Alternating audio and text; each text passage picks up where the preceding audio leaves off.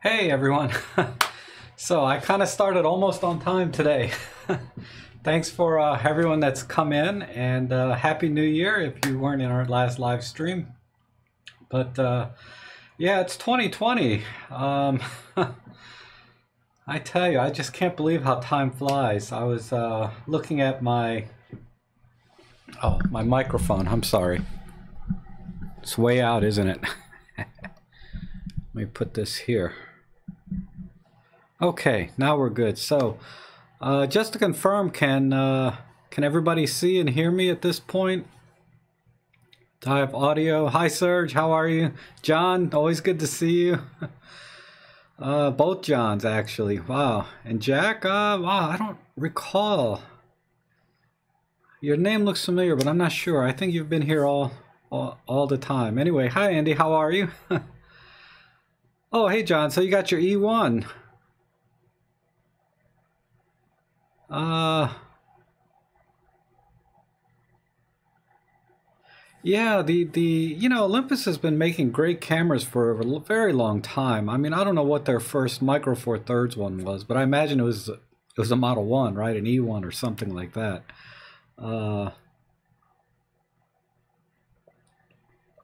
hey, Happy New Year, Paulo. Thank you. Thank you very much. Uh,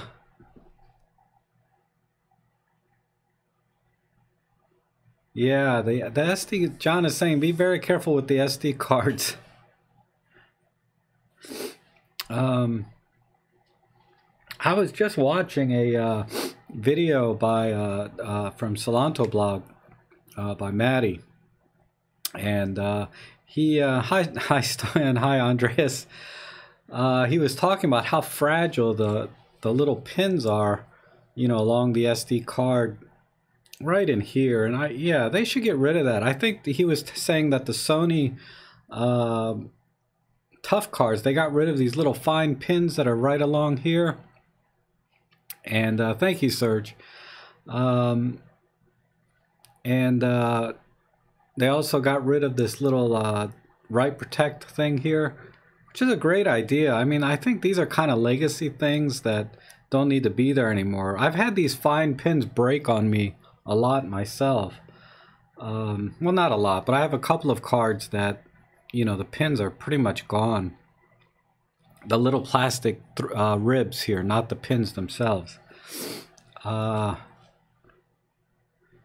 oh, you're, yeah, I missed your earlier, uh, hi John, I can't scroll up that far. It might have been before the stream started. Uh, but I think you did mention something about that in one of the comments because someone else was talking about that. That might have been you. Um,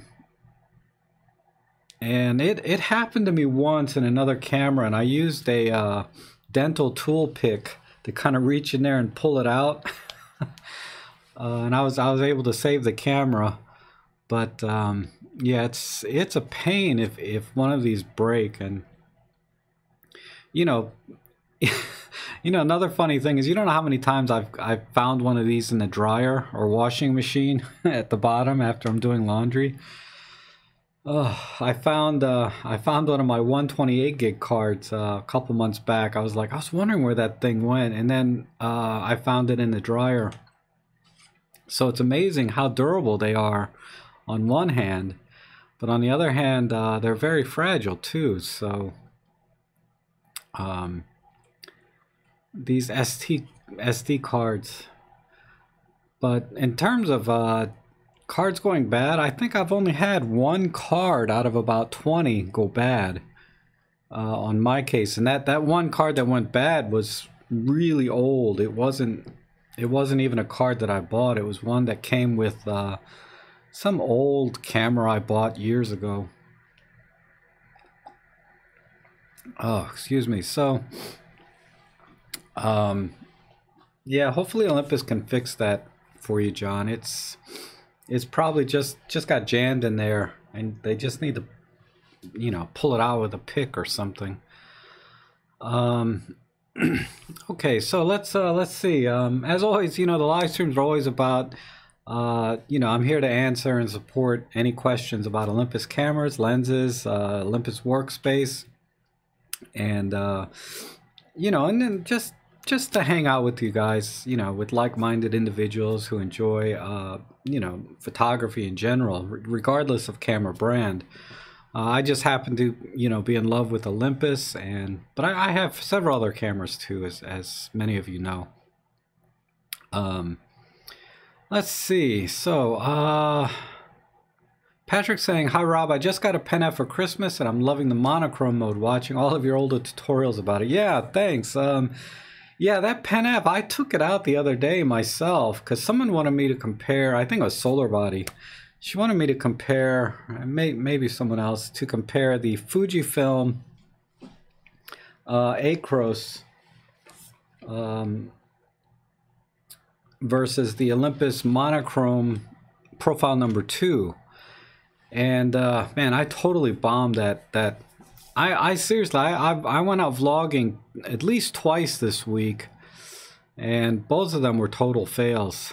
Uh, I I may post one. It's it's it's it's got a little bit of content in it that might be interesting, but for the most part, they they sucked. But as far as comparing the monochrome profile number two versus the Acros uh, monochrome profile number two is definitely more contrasty, and uh, you know, so it's it's pushing the highlights and crushing the shadows a little bit more than the Acros, and the Acros also uh, pushes the midtones a little bit. And another thing I noticed about Acros is that it does have a very fine grain to it that I didn't notice before. Um, when I was pixel peeping. There's a very fine grain in Acros. And to so to imitate that on our Olympus cameras, I had set up a highlight shadow profile uh, that I shared in my last live stream. But also, uh, you need to add a fine grain. There's three grain settings on the Pen F, low, medium, high. If you set it to low, plus those highlight shadow settings I, I talked about, uh, you can pretty much duplicate the Acros setting. And Acros, I also noticed uh, tends to sharpen a little bit as well. Uh, very subtly, uh, there's a little bit of sharpening in there too that you may want to crank a little bit of sharpening on the Pen F. That's if you want to duplicate the uh, Fujifilm camera's Acros. And the reverse is true. I think you could easily duplicate monochrome profile number two on the Fujifilm with, you know, tweaking it. But most of my viewers are not Fujifilm users, so I don't think anybody would care if I converted Pen F Monochrome Profile 2 to Fujifilm. Um, hi, Plato. Hi, Queenie. Happy New Year, everyone. Um, and uh, Queenie, you're relatively new uh, uh, viewer here on the channel or participant in the live stream, I think. So welcome back. I appreciate that. Um, I, I really, well, like I was saying, I was really trying to uh, crank out a couple of vlogs this week because the weather's been relatively mild, you know, low 50s, high 40 degree, you know, certainly well above freezing in terms of Celsius, whatever that is. Oh my God. And the other thing that's happened since last week is uh, I upgraded my SSD drive in my computer from uh, 256 gig SATA to a um, uh, one terabyte NVMe drive. uh, just because I kept I kept running out of space on my scratch drive uh, when I was doing some processing for video. But that's neither here nor there. What happened is I had a two terabyte drive, working drive, that had everything from 2019 on there. Ugh. And I don't know how it happened. I must have spiked the power when I was taking the drive out of the laptop because the drive is dead. So I lost everything I did in 2019. You know, my entire you know, photo catalog, videos, everything. Uh, but thankfully, I do have a backup, but it was three weeks old. So I lost the last three weeks of 2019, uh, except what I could recover from, you know, my memory cards laying around. that I've been using, you know, in December. Um, and that that's another reason I haven't vlogged or cranked out too much this week is because I've been trying to recover files and organizing all of my backups. Uh, so that you know that's really something that everyone, as you start to develop a catalog over the years, um, you know, try to develop some methodology for backing up and keeping duplicates, whether it's on the cloud or uh, on multiple hard drives. Because I have, God, I have about seven or eight hard drives that uh, I rotate around and try to make sure I have two copies of everything. And uh,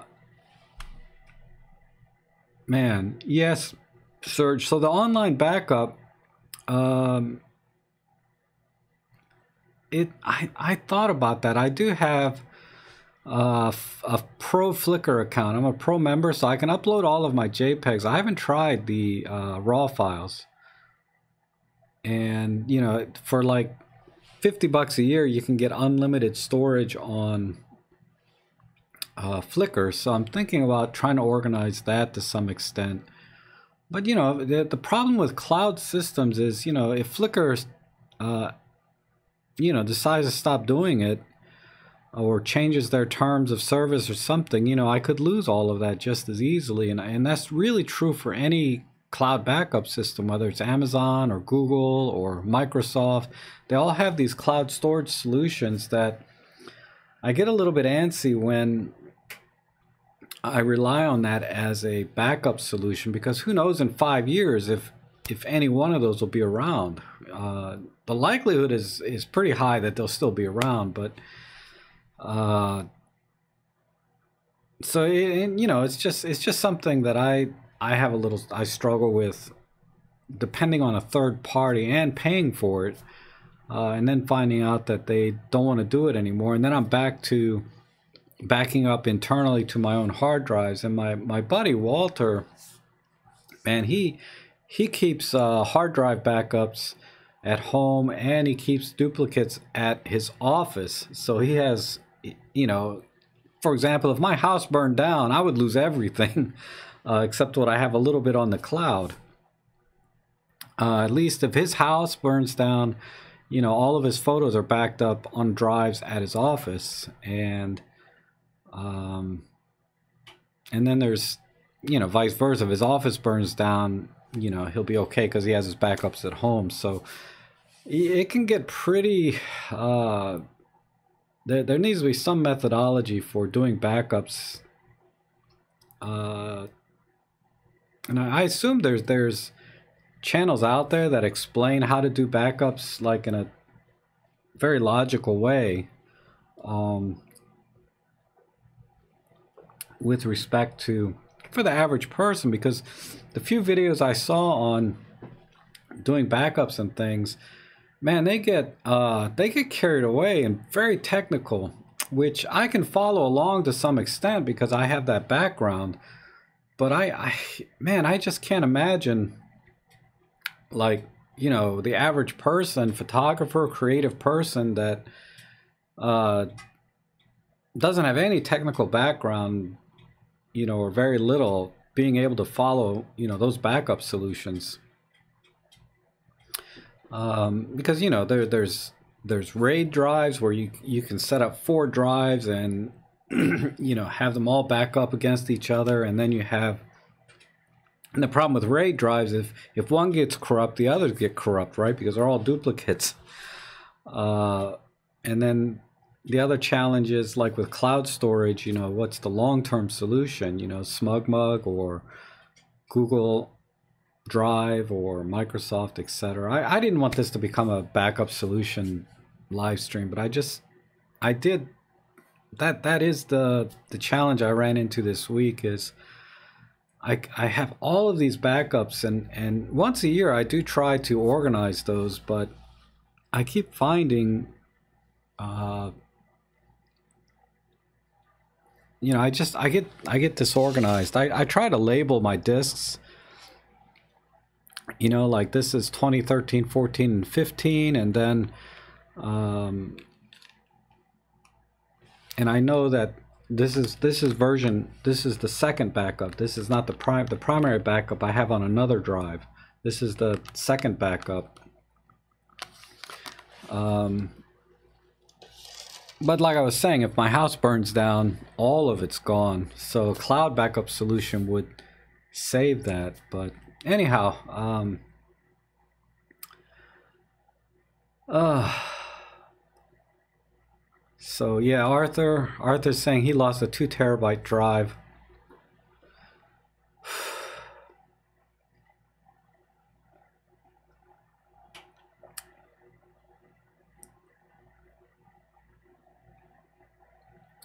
Wow, that's uh, that's quite a coincidence, Arthur. You lost a two terabyte drive the same time I did, doing the same thing, upgrading to an NVMe drive.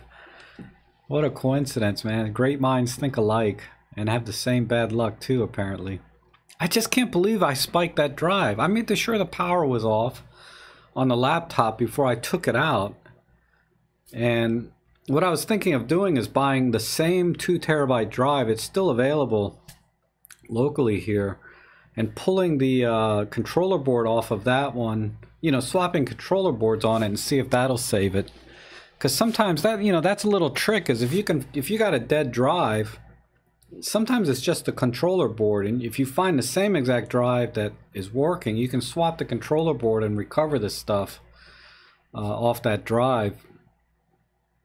Uh, but anyhow, um, I'm thinking about doing that, but that's, you know, it's like $90 for that, for another drive. I don't know if it's worth $90 to save those last three weeks of 2019.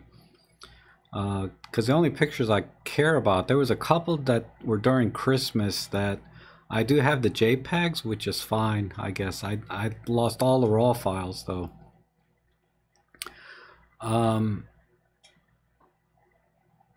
Jean-Luc, if you don't have three backups, you you have none. That's so true.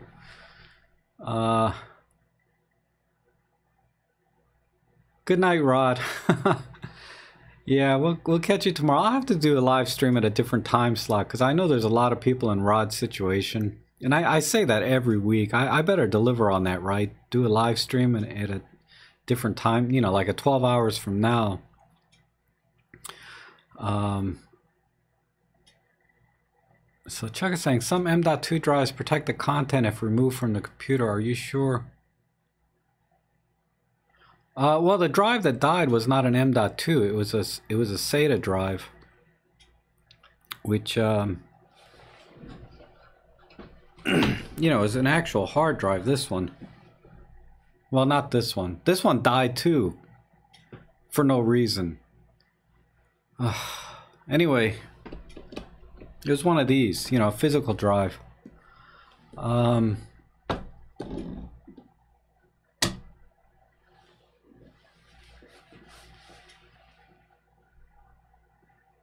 yeah, Michael, I'm with you. You don't want to have your pics on the cloud either, right? I'm I'm a little weary of that long, as a long-term solution or as part of a long-term solution. I think it's a good uh, like last resort solution. Like if you lose everything, then as a last resort, hopefully the cloud is still there.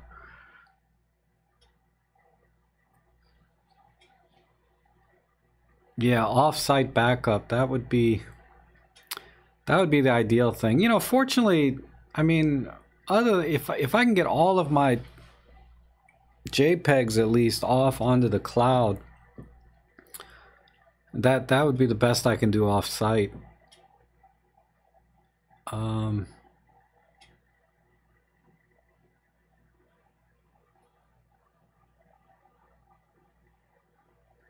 I need to disconnect the battery. Yeah, you're probably right about that. But the battery on this laptop, it looked like it was soldered in. It doesn't look like it's replaceable. Um, yeah, I, I should have I, I, I should have been more careful.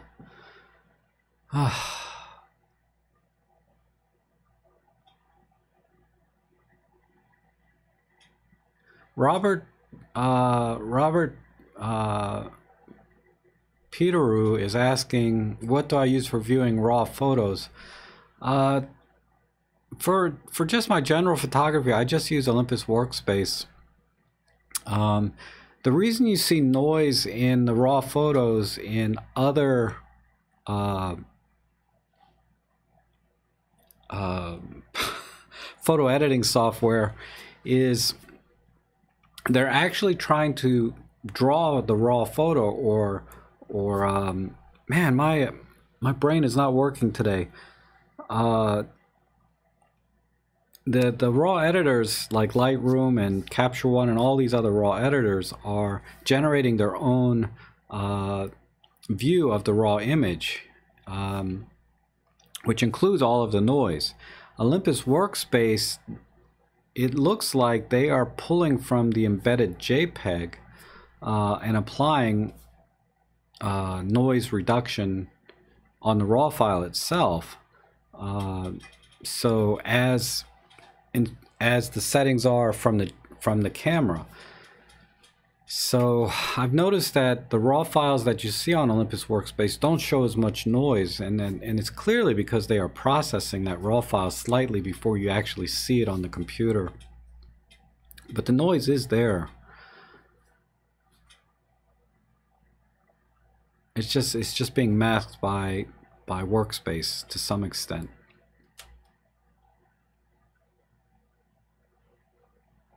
Fireproof safe. to store external drives at home. Yeah, I, I do have a fireproof safe. I should put my drives in there, but um,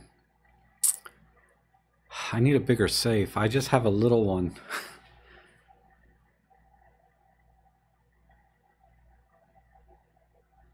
Do I need a... Okay, Omega Loopy is asking, do I need a UV filter for my Lumix 25 f1.8 to avoid purple fringing? I saw an article from Alan Watson Forrester about this issue on Olympus cameras, wondering if the filters... No. The uh, UV filter does not reduce purple fringing as far as I know.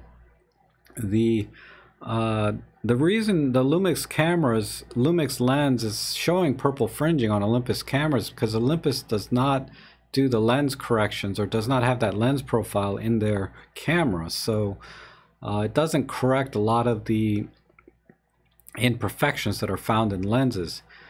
So when you put that same lens though on a, on a Panasonic body, you should see less purple fringing and less lens distortion and, and less vignetting and any, any other uh, less diffraction possibly any other sort of lens uh, imperfections are reduced greatly by using the same manufacturer lens with the same manufacturer camera. So Panasonic on Panasonic and Olympus on Olympus. And when you cross those two things that's when you start to see the actual imperfections from the lenses uh, because there's they're apparently they're not sharing their lens databases with each other.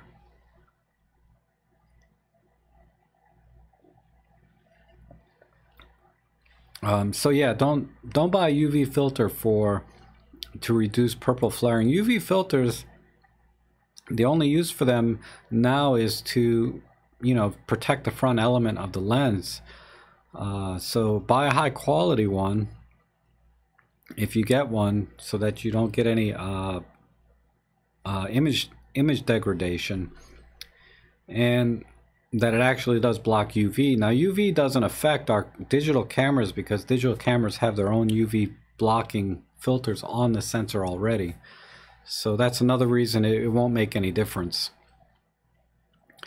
Uh, Seagate, yeah, I haven't had good luck with Seagate, but I keep buying them because they're cheaper. But anyhow. so Arthur was saying his Seagate drives, he was not getting good support, etc., etc. I've I've had much better luck with Western Digital, but never Seagate. I've always had problems. And the ironic thing is, Western Digital I think owns Seagate.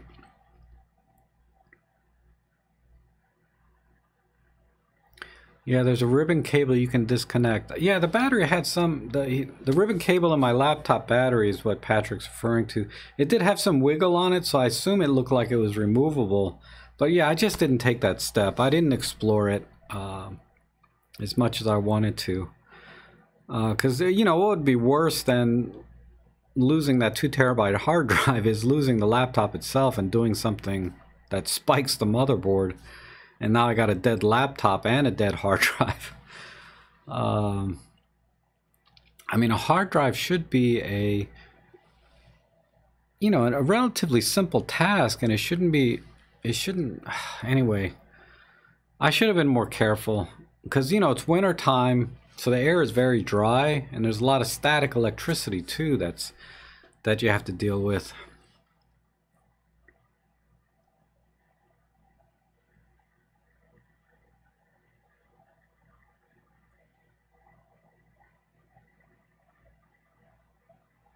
Oh, Jean-Luc is saying if the drive is simply corrupted, it's not corrupted, it just won't even spin up. So I think what happened is the on the main board itself, I spiked one of the, the diodes or something that, you know, uh, regulates the power or the direction of power in there. And uh, so one of the, you know, one of the diodes or capacitors were spiked either via static electricity or from the action of removing the ribbon cable off of here and somehow I crossed the pin. Uh, anyhow, but I've, I've used PhotoRec before. It's awesome. I've used it mostly on my uh, SD cards.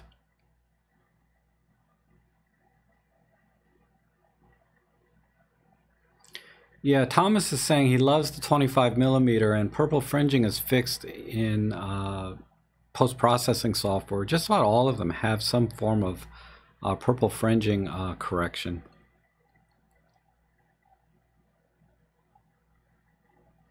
And Arthur's saying he loves DxO, how it renders raw files, how it uh, has its own lens correction profiles.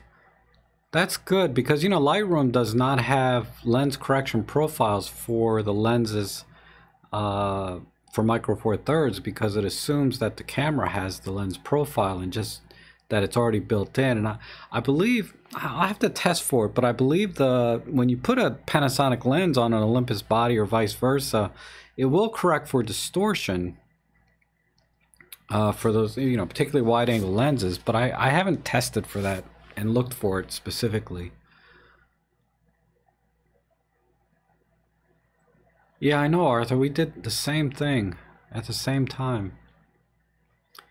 Uh, Omega Pi is saying, so the Zuiko 25 is notably better than the Lumix. Yes, I would say it is. Um,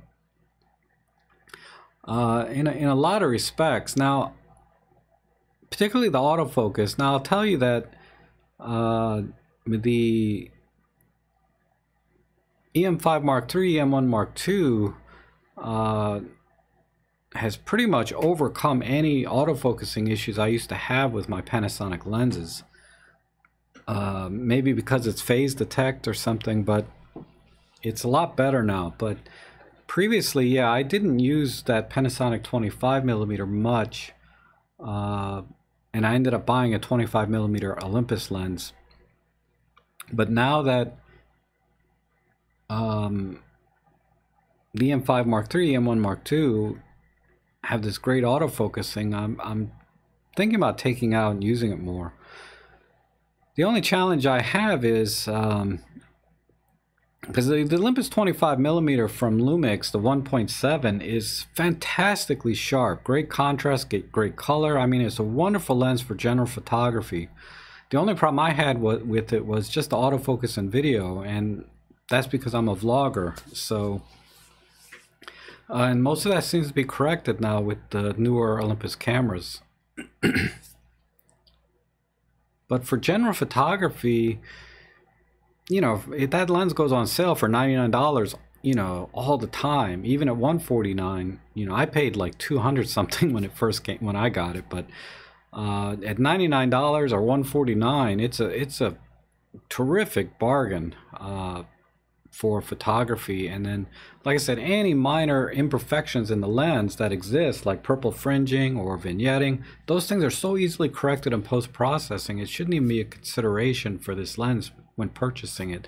The only thing I would consider is if you're thinking about video, I wouldn't get that lens for Olympus.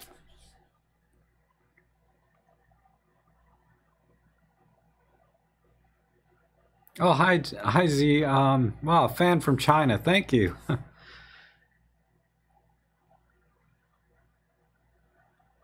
Yeah, Kenya. I, I was thinking about just swapping the board, but like I said, it's about ninety dollars to buy another drive with the same board uh, my hard drive, and I, I don't know if I want to spend ninety bucks for those three weeks of photos that I lost because I, like I said, I had a backup of everything except the last three weeks, and I'm an idiot because I was editing some. Uh, I was editing a video from a vlog or something, and it started really slowing down and I noticed that the backup software was running at the same time as I was editing. So I turned the backup software off so I could finish editing that, that video. And then, you know, the computer was running so well, I just said, well, I'll just back up, you know, on demand. I don't want to do it automatically because it's really dragging my system. And, uh, and that's why I lost three weeks because I turned the backup software off. Now I'm using the Microsoft version of backup, which does it daily automatically. It actually has a schedule, whereas the other software I was using didn't have a schedule. It was kind of a real-time backup. Um, hey, Brent. Uh, no, you didn't miss much. Just, just me whining about uh, losing two terabytes of data and it ended up I only lost three weeks of photos, but I killed a two terabyte. Now the sad thing is I can't remember what else was on that drive other than my 2019 photos. I know I had all of my uh, videos that I did in 2019. You know that I've already uploaded them YouTube, so that's okay. If I lose them, I lose them. But anyhow, uh, that's that's all you missed, and I'm still whining about it. Oh. Um.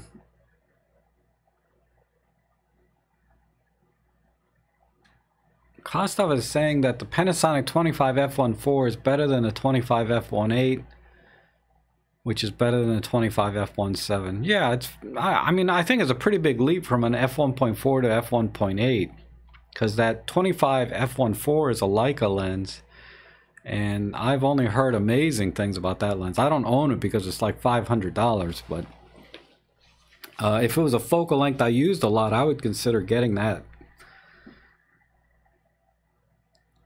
And Brown is also saying DxO3 is uh, has terrific noise reduction. Yeah, I, have only heard good things about DxO, so if, if anyone gets it, you won't be disappointed. And I think that's true for most software um, these days are also good, just like our cameras. I, I hate to say it. I mean, some software I anyway. Uh, hi Rob, I have Olympus OMD M5 Mark II, and I would like to see if I can change my aperture from f2.8 to to 8. That I see my LCD go darker. Where can I set that in the menu, please? Okay, the the there there's a limit to um, how much darker your live view is going to display. Um, you only have a three stop range. If you're in very good light, bright light, uh, f2.8, that's about three stops, right? f4, 5, 6.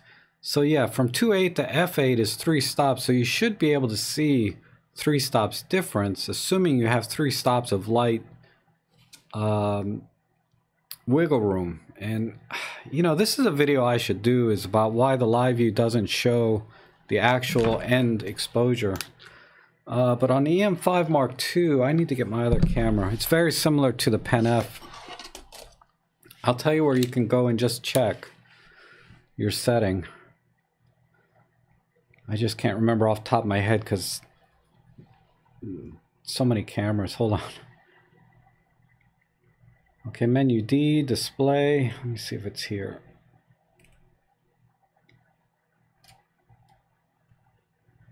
Yeah, okay, in menu D, the display menu, uh, go into that and scroll down to uh, Live View Boost.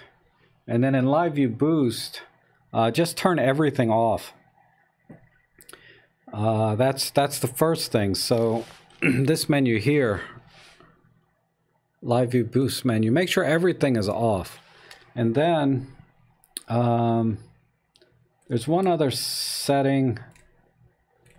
It has to do with simulated optical viewfinder, which is only for the EVF, but um, where is that one?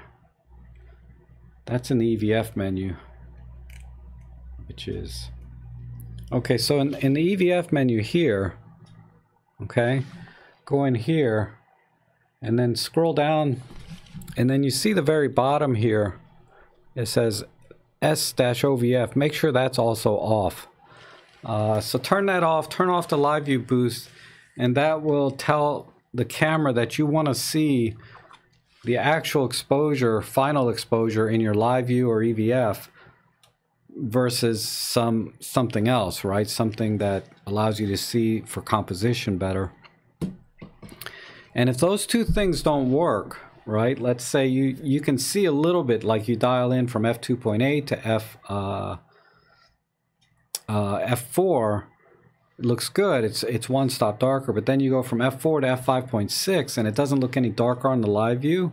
You've kind of reached the limit of what the live view can actually show you in terms of the correct uh, the final exposure. And it's something Olympus uh, does more so than other cameras. I'll have to compare against Fuji and Panasonic and see what they do. Uh, but I know on my Sony camera, when I dial in a negative whatever, I can get the screen to go almost black. But what it's doing is it's not it's it's not actually showing you what the sensor is seeing. It's just simulating that on the on the live view. Uh, but it doesn't work as but you'll you'll see the effect of this even more so when you try to go plus three stops or plus four stops brightness. If you watch my video on exposure compensation for beginners, uh, I think that will uh, give you an idea of what you can and cannot see in live view in terms of what the final exposure is going to be.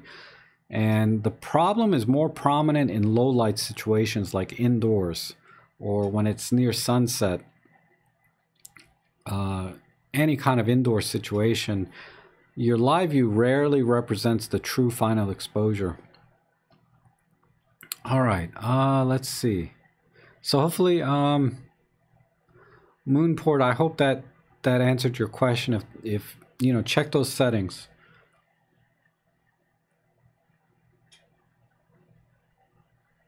Oh, thanks, Arthur. I'll check that out. HDD recovery services to solve the dead drive.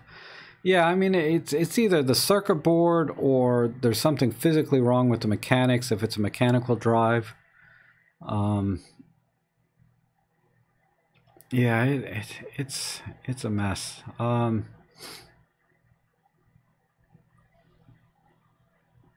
thank you, Terry. Happy New Year. Thank you. Uh, can I get OMD 4 third camera back to live view after a full reset? Uh, I'm not sure what the question is. What do you mean back to live view after a full reset? Um, and I, I only I'm only familiar with micro four thirds, not the original four thirds cameras. So I may not be able to answer that question anyway. If you're talking about the older four thirds cameras. Uh, but if you could clarify a little bit what your question is, I'll try and answer it because that, that by itself, it doesn't, I, am not sure exactly what you mean. Um,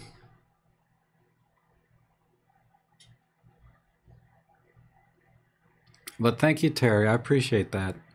Yeah, you know, if, you know, um, I, I try to participate. Terry's, Terry would left a private message about um, that, you know, with some things, but ultimately said he likes to share my videos with other channels. And uh, I appreciate that. And not uh, not share with other channels, but in other places like Facebook or Twitter or uh, you know the, the, the various forums. Um, you know, I try to participate in some of the forums uh, time to time, but I'm a little bit shy when it comes to actually promoting my own video unless it specifically answers uh, a specific question that somebody had in that video in that post. Uh, but otherwise, it, it seems a little bit you know, I try not to, you know, it's just it's just not cool to do self promotion in forums and things. The reason you go to forums is to help people and or ask questions, right? Or look for help, not so much to, you know, for self promotion. So I try not to do any of that except when a video of mine specifically answers a question. Then I'm happy to share it because I feel like I am helping in that case uh, versus just shameless self promotion, right? So uh, I, I, rely on a lot of you guys, you know, to promote my channel. Uh, if you think it's, you know, if a particular video you found helpful, if you could share that, because you have, you have, you know, you have a lot more eyes and and ears out there that I cannot possibly reach, and you know, the more people that I can help or that you can help, you know, through my channel, uh, the better for you know, the photography community.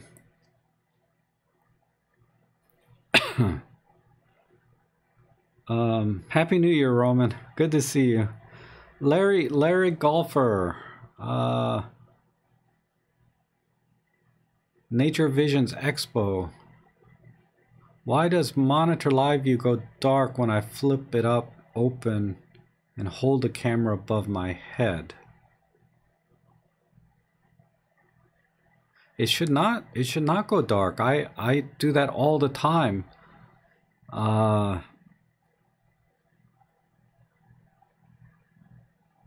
the only thing I can think of is uh, you know, like on this camera, it, it, flips all the way around, right? So basically, I think what what Larry's asking is when he when he holds his camera up high with the monitor tilted down his live view goes blank, right? And I think that could be sometimes when the sun hits the uh, when the because there's an eye sensor in the EVF, right? Sometimes when the sun or a shadow hits the the EVF, like that could cause it to go blank. Because you can see if I just put a little bit of a shadow over over the live view, I have to get a little closer sometimes sometimes it'll it'll go out so that's probably what's happening um, is there's either a shadow or extremely bright light uh, causing the EVF switch so the way to do it you know if you, if you if you're constantly going overhead like that is to turn off the EVF auto switching and manually switch it to live view Uh, Gary Smith is uh, saying, I'm planning on taking my OMD EM1 Mark II on the beach for vacation. I'm a bit worried about sand. Any advice? yeah, once you put the lens on the camera, don't take it off when you go out there. Um, other than the other obvious things, don't put your camera in the sand, but try not to change lenses because uh, so so try to go out with one lens if you can. That's the only advice I can give you. Don't open up the battery door. Don't open up the memory card because you get sand in anything anywhere. That's yeah, that's trouble. so bring bring a zoom lens, and you can use any kit kit lens will be fine. Uh, I wouldn't bring a pro lens to the beach. You know, I wouldn't want to ruin that. because uh, you can get sand in a pro lens just as easily as as a kit lens. So bring bring a kit lens and don't don't take the lens off or open anything. Uh, Rob, I missed the first 30 minutes. Did you discuss the four-way live stream that you are planning? No, I have not discussed that yet. I will I will come back to that shortly. Uh, who is Saffron has asked me if I fixed my EM5. No, I did not. The uh, I'm just I'm just learning to live with this button. Uh, being for those of you that that weren't around, I I don't know if you can see that. Let me put it this way. I broke this button here. Oh, almost. There it is. See, I broke this button. Uh, because I dropped the camera and it hit right on that button. No, I haven't fixed it. I'll, I'll you know, it's not a button I use much anyway. It, it kind of sucks to be missing a button, but Uh, I'm getting I'm getting along fine without it. I don't want to send my camera away. Maybe maybe in a couple months I'll do it when I I don't want to use it all the time. Right now I just want to use this camera all the time. So I don't want it to be out of my out of my possession for any length of time.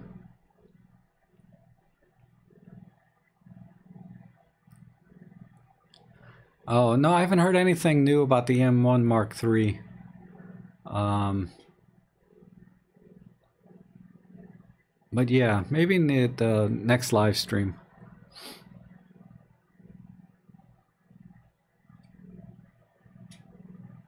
Oh, hey Terry. Yeah, yeah. Whenever, whenever the camera's not, Terry's saying he did a full reset and now his live view is back. But you know, whenever your camera's not acting the way you expect it to, just do a full reset because there's there's so many menu settings buried down into the camera that uh, one could be affecting something that you're trying to do and you can't find what's doing it. So I I do full factory resets, you know, pretty regular.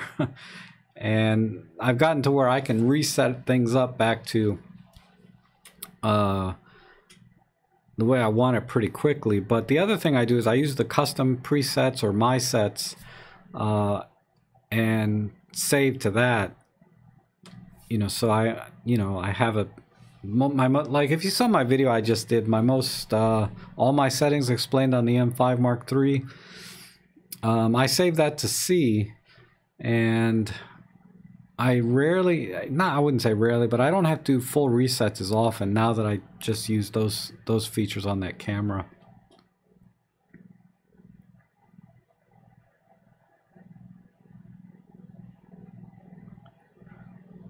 Yeah, sand. If she got sand, Roman's saying a friend of hers took her 20 millimeter out in the desert and she got sand in her lens. Yeah, that sand gets everywhere. So I, like I said, I would not take, I would not take uh, a pro lens out, even though they say there's weather sealed, dust sealed.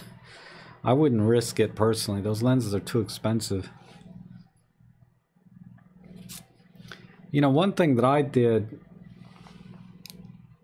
is uh,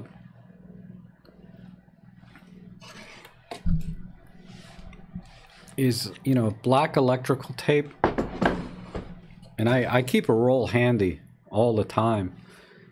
But what I did when it was kind of, I knew it was going to be raining and I was using a kit lens, is I wrapped, I wrapped the electrical tape all the way around. Uh, not on a zoom lens, I'm sorry, but on my prime lenses. Um, I wrapped electrical tape all the way around because I wasn't going to manually focus anyway. And uh, that gave me some peace of mind. I don't know how effective it is in real life, but it gave me some peace of mind that the lens is, uh, gosh, I might still have. Look.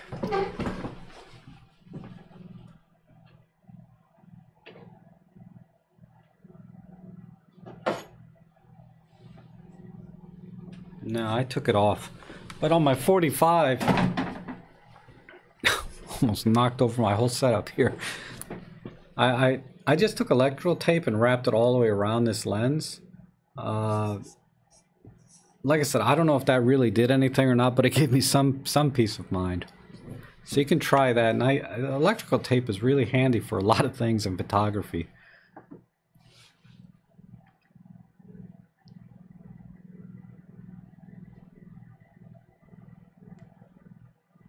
Oh, thank you, Serge. Serge is saying he shared uh, some of my stuff. I appreciate that.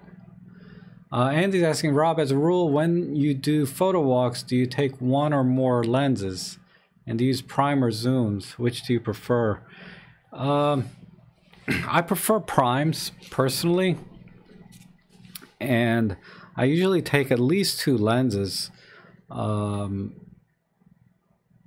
which one will be the kit lens 14 to 42 is a very common lens that I take because it's just it's just small and lightweight. And if it's daytime, this is what I'll primarily shoot with. But as the as it gets darker, like well after sunset, uh, I I prefer to use a prime with a with a faster aperture. Uh, so I'll usually take the 14 to 42, or now I'm using this 12 to 32 from Panasonic plus the 17 millimeter prime uh, f1.8. Those are my two choices for just general photography. Um, because I, I can get by with most things because I, I don't mind high ISO, so I don't mind using the kit lens even when it starts to get a little dark. but uh, sometimes, you know, I I need the shutter speed, so I have to use a faster aperture. Uh, not because I, I need to get lower ISO, but because I need the faster shutter speed. Then I'll switch to a prime. Because uh, I do a lot of photography at night. Um,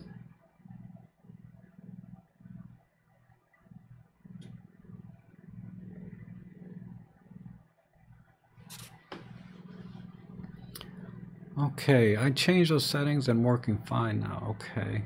Oh, okay, good, Moon. I'm glad that helped. I can't even remember what your question was now, but I, I do remember you did ask something earlier. I'm glad that helped. Uh, thank you, Steve. I, I try.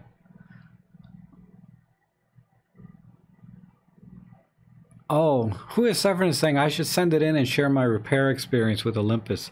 All right, uh, I will share one experience I did have. My Pen F uh, about a month after I got it, started to power on and off on its own, right, or power off on its own, and you know through various powering on and off, taking the battery out, etc. It would come on sometimes, but it was yeah, there was definitely something wrong with it.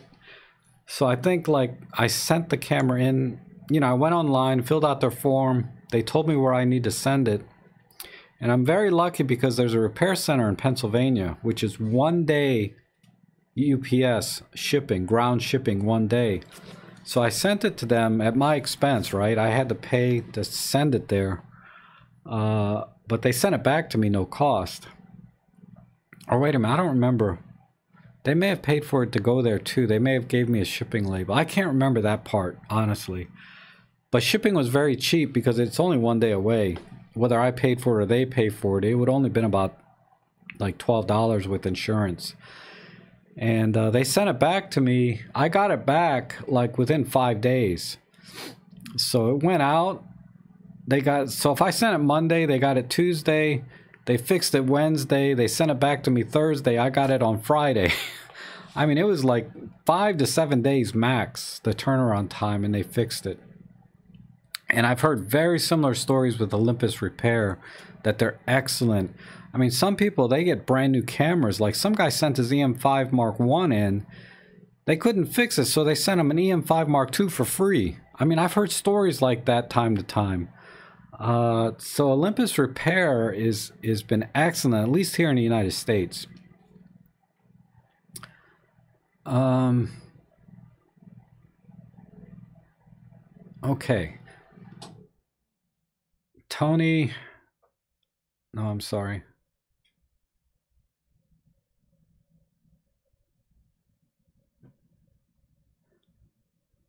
Oh, in shutter priority, it's not showing the final exposure. Uh, so Wilman,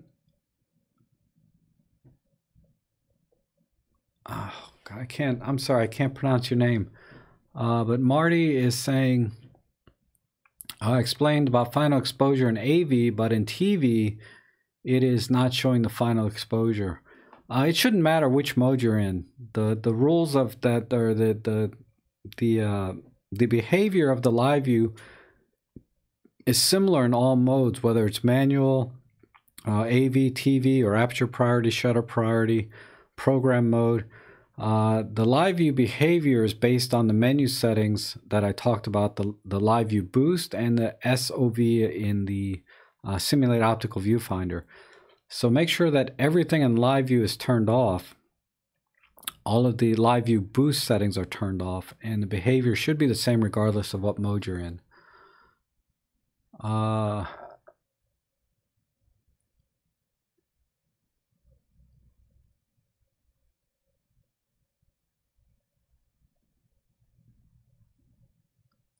Hey Rob, if you had a chance to use the GX85 much? No, not not not since the last time I was I uh, did a vlog with it. Um, yeah, especially this past week with my hard drive crashing and all. uh, I do want to take it out uh, to play a little bit more with the L monochrome and dynamic monochrome. And then also the 4K photo mode. And then compare that to say something like Pro Capture on Olympus. And and just see what makes what's a little easier to use or makes more sense in terms of that sort of photography where you're you know capturing things before you actually want to take the picture uh, because the GX85 I was looking at uh, bestsellers on Amazon at least here for the US and the GX85 is still outselling like the OMD EM10 Mark II based on just looking at bestsellers so, and and I think that's it's mainly about price point and features, right? Because when and and most of the cameras on the bestsellers list are all like five hundred dollar cameras, give or take, uh, with a with the occasional full frame two thousand dollar camera thrown in. But it seems like what makes a camera a bestseller is basically price, right? And these are people that are just getting into buying a legitimate camera. Uh, so I, I think I should do more with the GX85 just based on the the sales that I'm seeing for it on Amazon. There seems like there's a good user base for it that might might benefit from any insight that I might be able to give, right? Um, but I need to use the camera a little more and develop a workflow uh, that you know that makes sense to me that I can share uh, right now I'm I'm just like anybody else with a new camera. I'm still fumbling with the menu, um, and still not getting the best images I can out of it. Uh, because a lot of times when you when you buy a camera, if you just put it on auto mode or program mode and take pictures, you're not getting the best out of that camera. And that's, and I say this every week, but that's the problem with all these drive-by photography reviews or camera reviews is they don't have the camera long enough to really get the best out of it to the point to where somebody might decide that yeah this is the better camera for me because it works better for me and my workflow and it gives me the kind of results that i want to get to uh, and, and that's why i think fujifilm film simulations are so popular and a big draw for their cameras because they've they've they've really branded those particular art filters very well and marketed it as you can get film simulations out of this camera by pushing a button and you get a great image. And and that's 100% true but i you know the same thing is true for the olympus cameras. It has many simulations in it or color adjustments but they just call them art filters instead of film simulations. But you know the vintage profiles the the uh, uh, pinhole profiles the bleach bypass the you know there's there's a lot of uh, color profiles that they call art filters and they didn't market those the same way Fuji would. If if Olympus marketed their art filters as film simulations, like saying, "Man, this thing this thing imitates Ilford 400," you know, but there's probably a lot of trademark branding issues that they they decided not to go that route at all and just call them art filters. But in the end, they need to really. Uh, I think they would do better if they could market those as this is very similar to what uh, you know Kodak Color used to be, which is on the Pen F would be mono, color profile number two is very similar to the older Kodak Color film stock.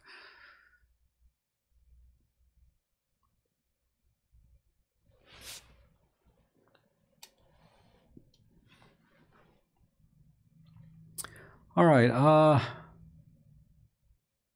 that was a long answer to a question. Do I take the GX85 much?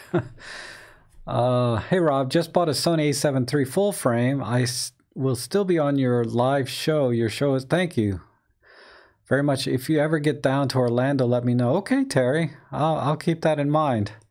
I do plan on going to uh, Naples, uh, hopefully this year.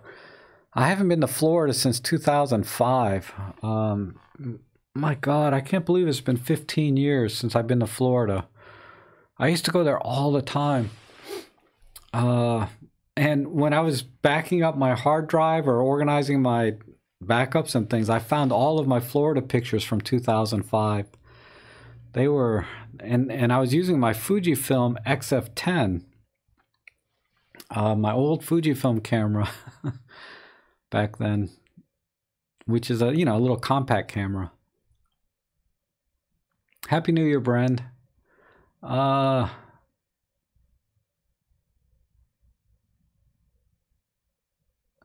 Hi, Wooden. I'm glad you could join us. Always good to see you. Um,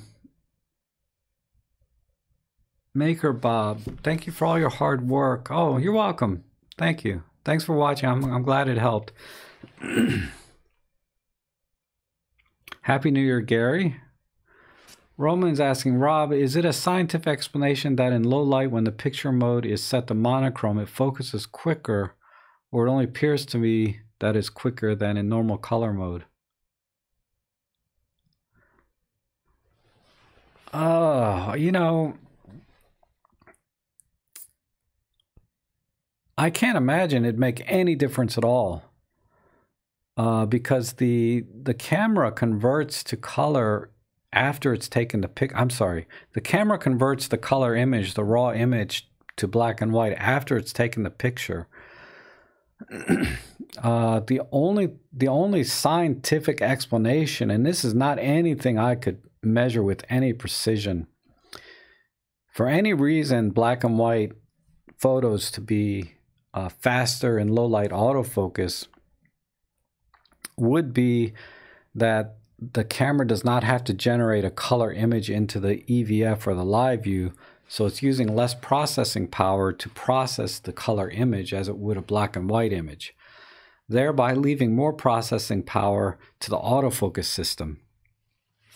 Uh, that is not something I could even measure. Uh, so I think it's it's I think it's more a, a, perceived difference in focusing than it is an actual real difference. Uh, but if there is a difference, the only explanation I can think of is just in terms of the processing power of the camera to generate a color image for you to look at in live view or the EVF is reduced. Uh, because now it only has to produce a black and white image for you to look at, which is probably, you know, some savings there. I'd be curious to know if if you save any battery life by displaying a black and white image in the EVF uh, or or live view versus color images. Uh, I doubt it, but again, that that would be something so subtle that it would it just wouldn't make any real world difference. Uh, hi, John Softly. Good to see you again. Um, I think you emailed me about my little uh, uh, battery tester here that I'm using. And uh, yeah, that was the correct one. And I, I am doing some more tests on this, which which reminds me uh, from my last video when I was talking about these generic, or my last live stream, I was talking about these generic batteries. Um, I think it was Rick Bear was saying that he used these Newmowa batteries, and he was getting very good results with this. And uh, I happen to have Newmowa as well, and I measured this, and this is not an old battery. I got this a few months ago, and it's been it's maybe got five or six recharge cycles in it, so it's not old. Uh, I was only getting a little over 700 milliamps out of this uh, battery, and it says it's rated for 1220, so they're not exaggerating 2000 milliamps like you see a lot of generics. But ultimately, this did not have any more juice in it than any other generic battery I've ever used. Uh, okay. Um, so Rick, if you're watching this video later, if you're not here now, um, I'm not getting any more juice out of this than any other generic. Now, if the long-term performance of it, like the the drop off and the power delivery is more consistent for that 700 milliamps, uh, that would be a good thing and make this a better battery. But in practice, I cannot, again, it's not something I can actually measure or perceive any difference between this battery and other batteries, other generics. Um,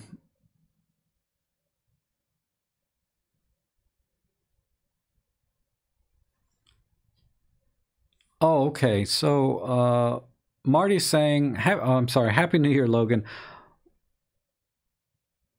Let me back up a little bit. Digital noise. I got a GX85 for two years. It was great, but I got bored. So I got the Sony a7 II R2, but I feel like I can't get comfortable with it. Now I got the PL9 kit for 300 euros and looking into selling the Sony. Yeah. Yeah, I I handled the A7R3 briefly at the camera store when I was buying my uh, Fujifilm, I think. And I it you know, when you buy that when you buy a full frame camera, you have to get the full frame lenses with it. And the camera you know, the camera itself was already kind of bulky. It's bulkier than the M1 Mark II. Not leaps and bounds bulkier, but it was bulkier. And then you add the lenses onto it, and I, am not going back there. So I can appreciate, uh, you know, going from full frame back to micro four thirds. Uh, if not for the handling and the bulkiness, but um, Sony's menu system is not not very manageable. And this is this is the other thing about menu systems in general, because people complain about menu systems in in Olympus and in Sony. I don't hear it so much from the other manufacturers, Nikon, Canon, Fuji, and Panasonic. And I've used all of them uh, Olympus, Panasonic, Fuji, Nikon, Pentax, but of all the menu systems that I've seen, Panasonic has the best one for me. That that that menu system was very intuitive. My mind, I was able to wrap my mind around everything I wanted to do in that camera very quickly. Uh, save you know some very specialized features. Uh, Fuji, I struggled with, and I still struggle with a little bit. Uh, I'm and and it's you get used to anything, right? Once I get used to using it, you know, I'll get through it. And Olympus, I can see where a lot of people are going to struggle with it. You know, my last video on the EM5 Mark III settings, at least the settings now are grouped alphabetically to some a little better organized than their previous models. Uh, so I, I, put up an acronym like A is for the autofocus system, B is for the buttons, you know, etc. Um, so that helps a little bit, but ultimately, the menu systems shouldn't matter. There's really only three settings, right? Shutter speed, aperture, and ISO. I mean, if you can find how to set those three things, you should be able to do like 99% of your photography. Uh, you know, everything else on these digital cameras are just uh, kind of accessories and computational, right? Um, so I, I never let a review of a camera somebody says oh the menu system sucks on that camera you know i, I don't let that bother me or may sway my decision in any way because ultimately the only thing i have to know is shutter speed iso and aperture right? Once i know how to do those three things i can learn the rest of the menu system and do those other things whenever. So uh anyhow yeah so Let's see, but the PL9, if for nothing else, between the PL9 and A7 III, that's a big, big leap, right, from one system to another in terms of, uh, you know, capability and low light performance and size, right? There's a lot of huge differences. But ultimately, you know, the Micro Four Thirds system is going to be cheaper and give you like great results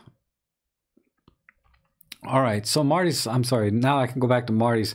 He says when he puts the shutter in one one thousandth of a second, it gives you a good view, but the end picture is dark. And yes, that is that is definitely a symptom of the live view is not showing you the the final exposure uh, because it cannot. It just cannot do it because the live view is operating off the sensor, and the sensor is operating off a certain refresh rate. I think it's like one thirtieth of a second. Like it'll refresh uh, 130th or 160th of a second. And that's the actual shutter speed that the sensor's operating at, if you want to look at it that way. And then the camera software, the, the CPU has to extrapolate what the final exposure will be. And like I said, you only have three stops of range, plus or minus. So if you're at 1 30th of a second on the sensor, but you set your shutter speed, your final exposure to be 1 one thousandth of a second, that's multiple stops away, right? It's 60, 120, for, you know, we're probably about seven or eight stops difference. So yeah, the, the live view is not going to show the final exposure when you're more than three stops away in good light. If you're in low light, you're already lost a couple of stops. So the live view is not going to show you the final exposure correctly. Um, so again, if you watch that exposure compensation video for beginners that I have, it'll it'll kind of get you down the, the path of where I'm going with that that explanation but it'll demonstrate to you at least that plus or minus three stop limitation of live view. Not not to the, the extent that we're talking about here, but at least it'll put your mindset or or it'll, it'll show you what how I was uh, thinking about live view and exposure compensation.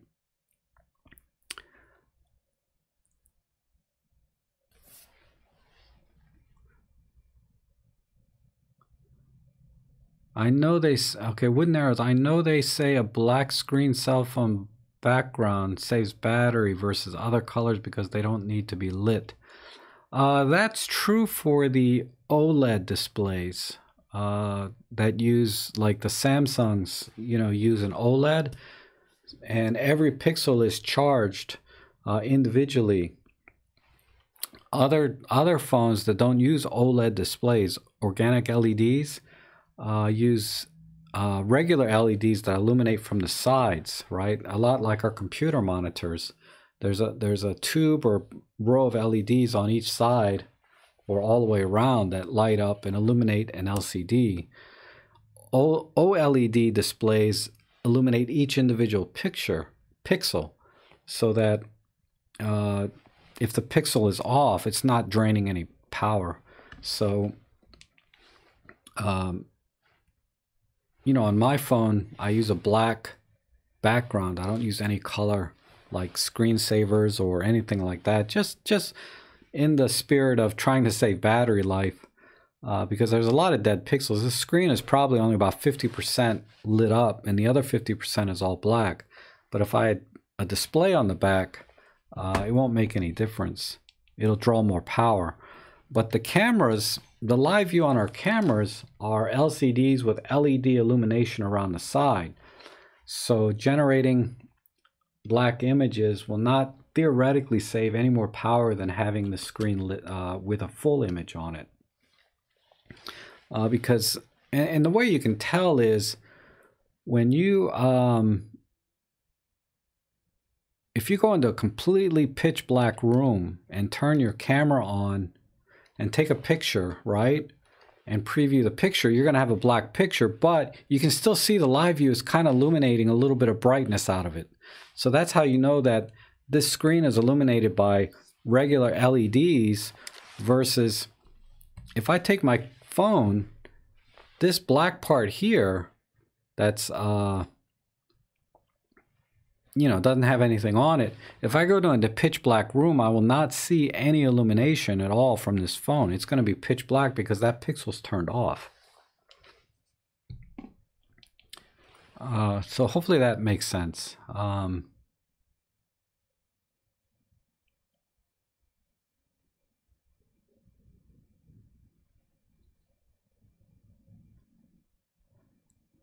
laptop is saying Consider that the alphabetic is dependent on the language you are speaking. I have no idea what that's about. I'm switching from Nikon. Logan saying I'm switching from Nikon to Micro Four Thirds. I'm 58 years old and I can bear no more carrying 40 pounds of bag. Yeah, hallelujah. Uh, that's why I switched. Really, is because I I got tired of carrying uh, so much gear. You know, I I, you know, when I had my Nikon, I bought the Sigma 24 to 105 f4, you know, art lens because I got tired of carrying all the primes. But that art lens is almost a thousand grand, like a kilo. by itself. On top of the camera is almost another kilo, and it's like you're you're two kilos, right? Whatever pounds that is. I, I don't even know how to think in in in uh, pounds anymore because all the cameras are, you know, stated in kilos and millimeters, right? Uh, or grams and grams and millimeters. But uh, yeah, I got I got tired of carrying around all that gear.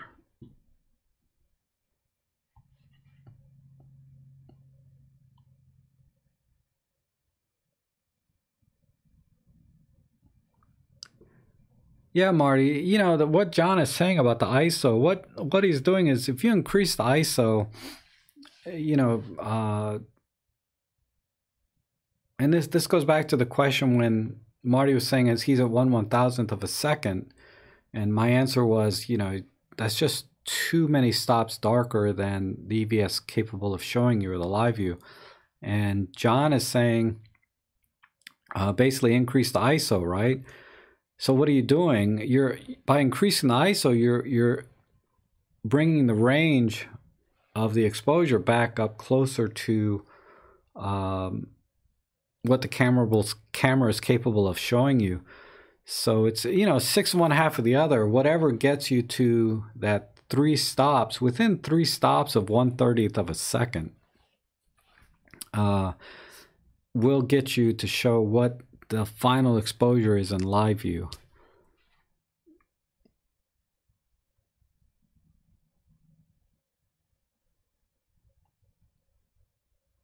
Oh, okay, sorry. Laptas Perosi says, I meant putting a menu in alphabetical order is not viable because changing the language would make it a mess out of it. Yes, okay, now I understand. Uh, I understand now. Olympus has Japanese menus which get translated into other languages. Yes. But I would I would argue that at least in the M5 Mark III, they did put some thought to alphabetical order and grouping them uh, a little bit more logically. Brent is telling me it's 2.2 pounds per kilo. Yeah. That that sounds right. Thank you.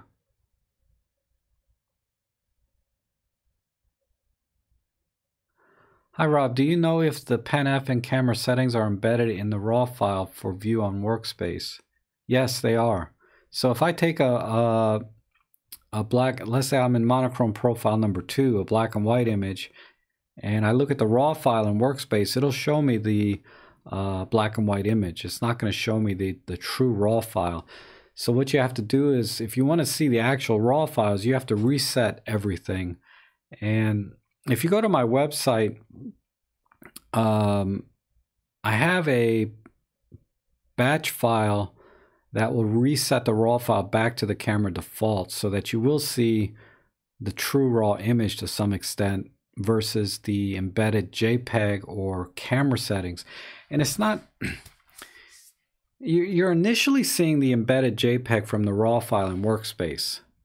But I believe Workspace then interpolates, that was the word I was looking for earlier, interpolates what the final image is from the settings that it drew from the EXIF data in the file.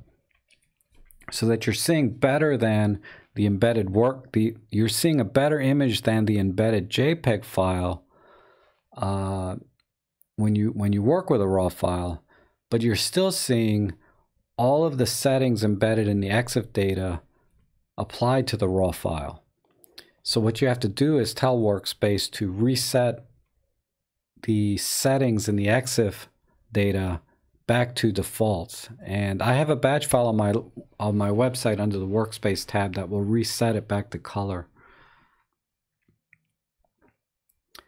Um, so I hope that answers your question. The PenF camera setting, and, and that's true not just on the PenF, but any Olympus camera. When you're in Workspace, it's going to show you the raw file with the settings that were set in the EXIF data saved in the, from the camera. So if you take a black and white image, even if you work with the raw file in Workspace, it's going to show you the black and white image first. Uh, Logan says, in plus, I'm a sports photographer, and the image at 6400 ISO and EM are good quality for newspaper quality. Yes, uh, that's good to know. I mean, I would assume that you're in very good light, and in very good light, the the image quality is fine, and and newspaper quality, my God, you know. I think an image from any camera is going to look grainy on a newspaper just because of the print process on newspapers, right? They're what are they like 100 DPI or something?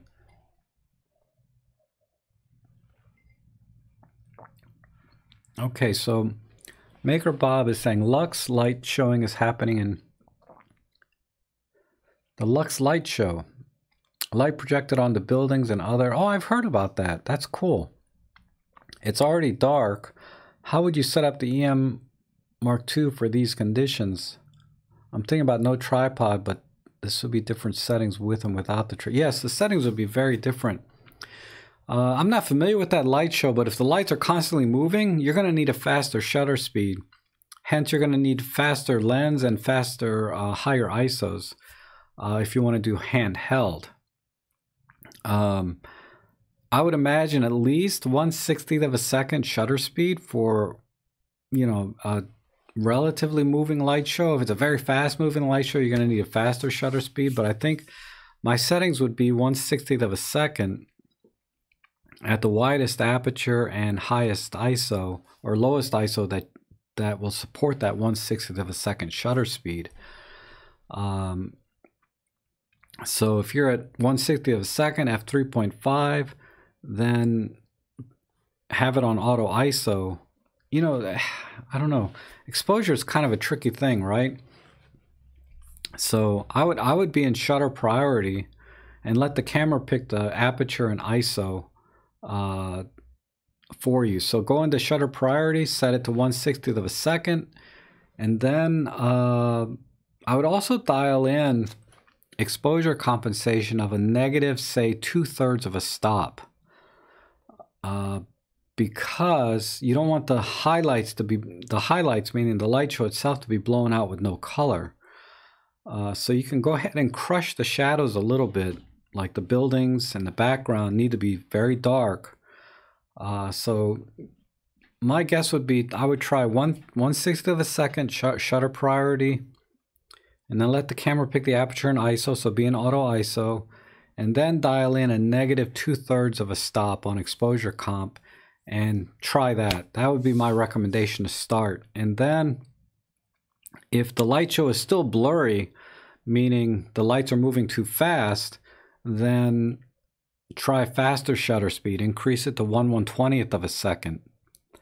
Um, or if if the lights are not moving, if it's a static image, you know, you can slow your shutter speed down to, I'd say, maybe 120th of a second. Whatever you can hand hold, you know, you would know this better than me. I'm good at about 120th of a second. I can hand hold a camera without motion blur. Uh, but that's, that's where I would go. Um, oh, hey, Robin, how are you? Thanks for coming in. Uh, let's see. Robin Robin's a regular on my live streams. I really appreciate that. You know, he's he's been uh, he's been very good about helping uh, a lot of you as well when I'm when I start to jibber jabber on too long about one question. Um, but uh, Maker Bob, hopefully that that helped. Uh, let me know if that how that works out for you. Um,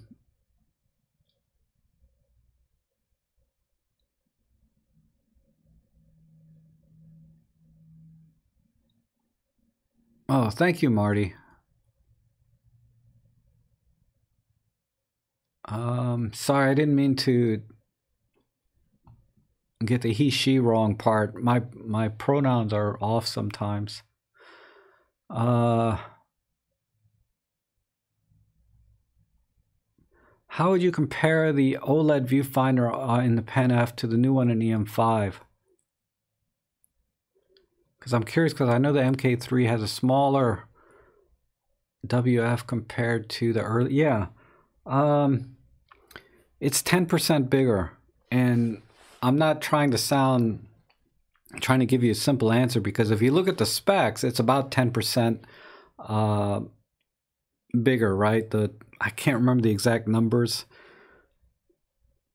but when I went when I went to the uh, when I went to go buy or I went to the uh, launch event for the M5 Mark III, I took my uh, EM10 Mark II, which has the same viewfinder as the the Pen F, and I compared them like this, side by side. And it's 10% bigger, but it feels more than that. It seems like perceptually it feels that 10% makes a big difference. Uh, it's it's quite a bit better. And I also noticed that I can hold this a little bit further away from my eye as well and still see it pretty clearly. I think about right about here is my limit, but I can still see the entire image. And I think that's something to do with eye relief, but yeah, it's very good. The viewfinder is awesome in the M5 Mark III. Like I said, it's 10% bigger. Um,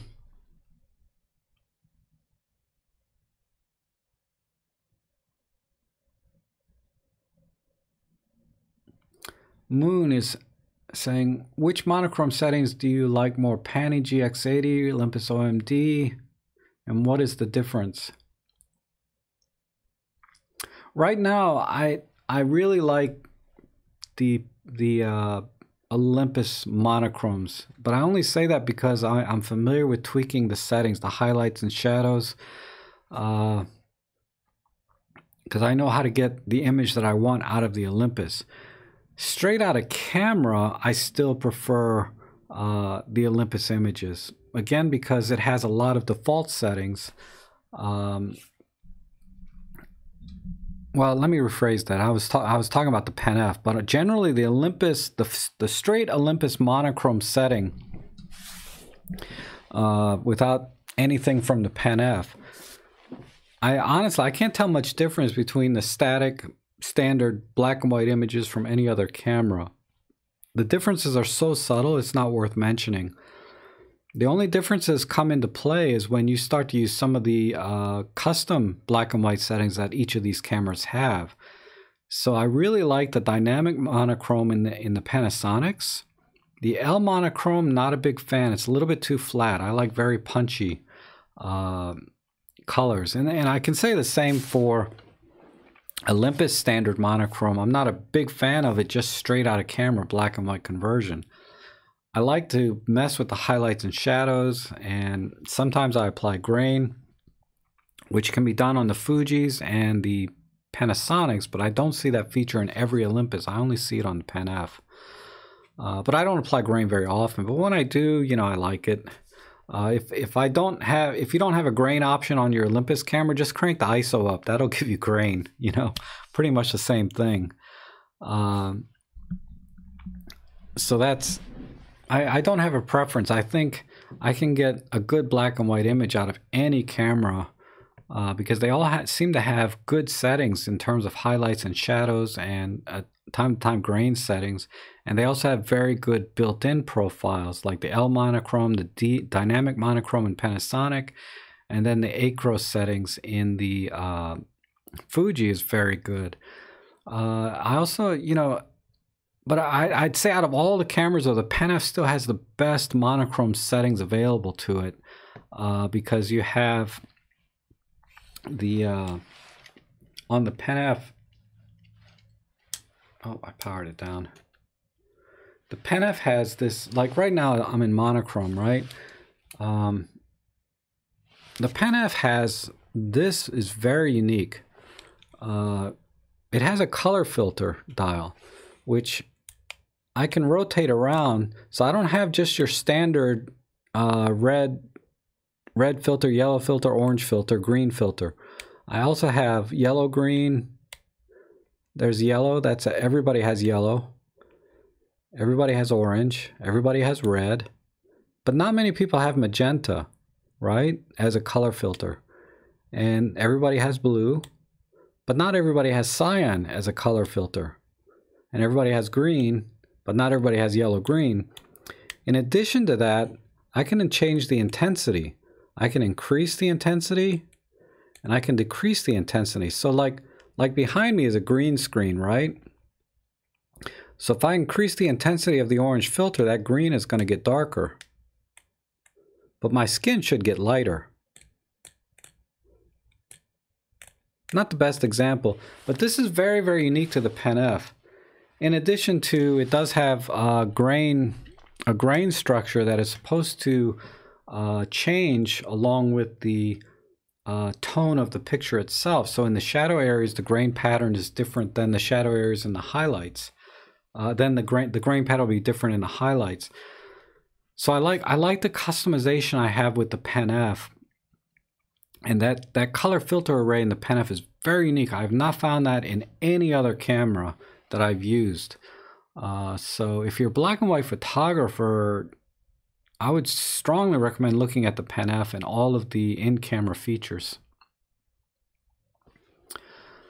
Um, but yeah, Moon, basically for monochromes, if you're looking at the straight, static, or standard monochrome setting, there's not much difference between any of them. All they do is reduce saturation out of the image. It's only in the specialized uh, monochrome profiles that are available that you'll really find any difference. Oh, John's asking why. Oh, I guess Robin answered it. Uh, I I think let me expand on that a little bit, Robin. Though the uh,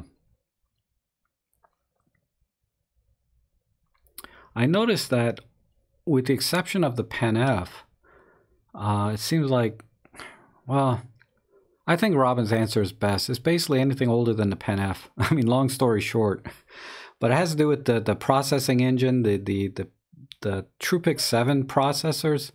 All of those cameras are older, and and with the exception of the Pen F, do not have uh, color wheels in them. But you can use the color wheel on just about everything else. Now, I do have a hack that you can apply color wheel to any Olympus RAW file, John.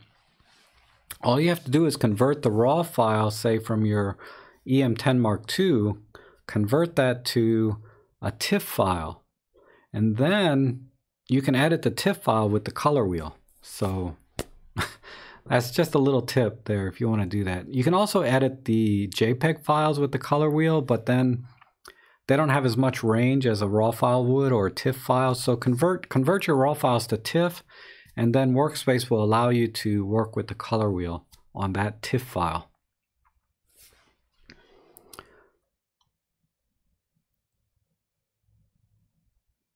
Uh,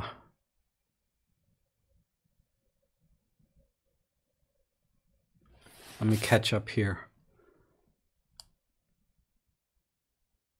Let's see, when when are you doing your common live stream? Oh, Logan. Okay, Logan's at wait. John is asking any experience with the cheap $100 gimbals? No. Uh, I have not used any cheap gimbals. I have one that I paid like $600 for about three years ago. Uh, but since getting the M1 Mark II, uh, I, I haven't really needed it. Um,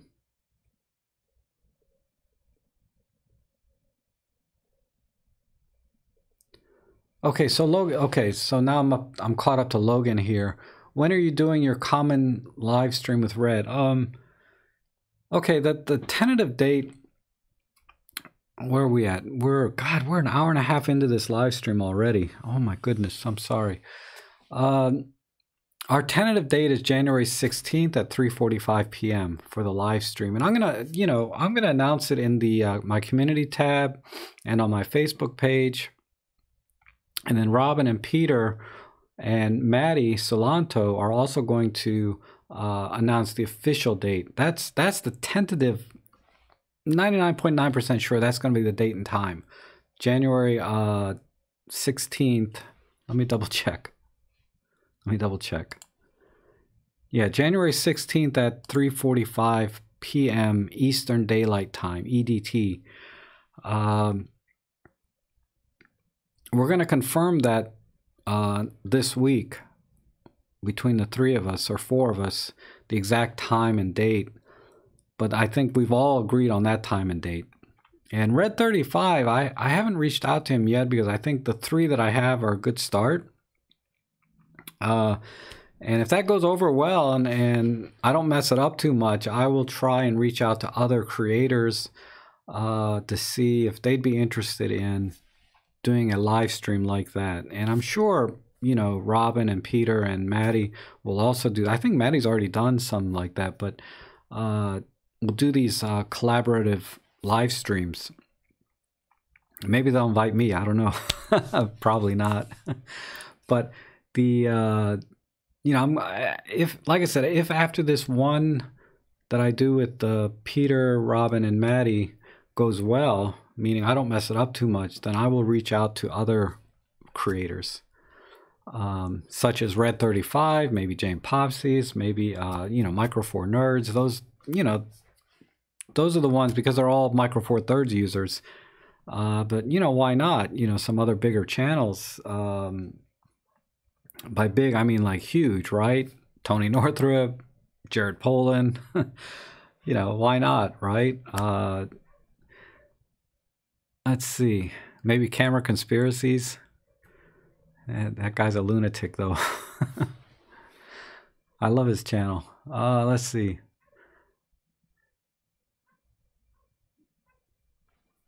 Tim. Tim swears by ACDSee. Yeah, ACDSee gets, you know, like I said, ACDSee, this is this this software's come up a lot. Uh, what what attracted me to ACDSee is the uh, it makes use of the EXIF data and I, ITPC data in part of its uh, asset data management function. So I think it's a little bit more of a, a you know more of a technical program with all of the features it has but if you're technically minded or that that workflow works for you i think ACDSee is a terrific software as well and it's very reasonable less than 100 bucks i think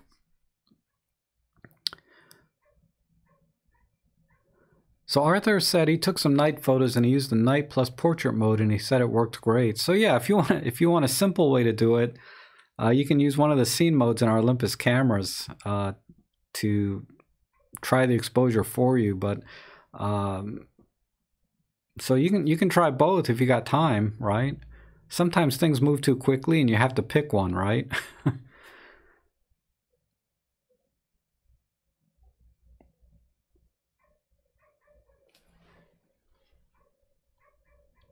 uh, let's see is there a way Magnus is asking, is there a way to change the exposure when you're in auto ISO? Some kind of exposure exposure compensation. Yeah, there, there is exposure compensation on all the Olympus cameras uh, for photography.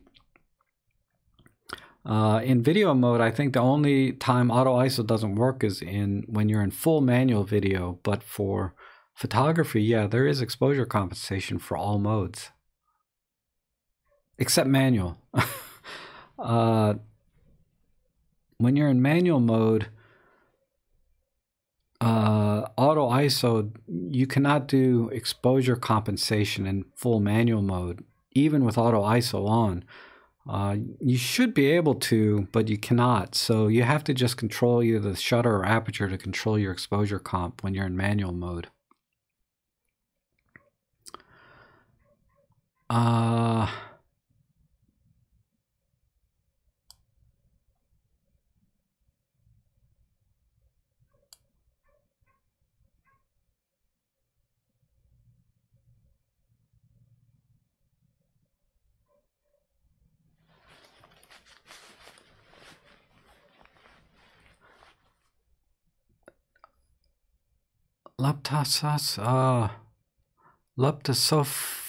Leptasophosi.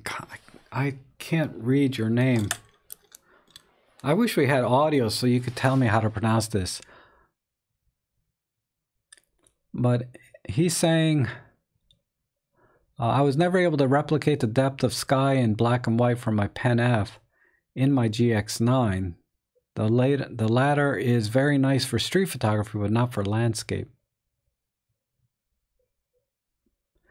Yeah, the Pen F has a very, very strong red filter, which is adjustable, like all the colors in that color wheel. So that's that's like what I said. The red filters uh, are purely subject or are not subject, but arbitrary from manufacturer to manufacturer.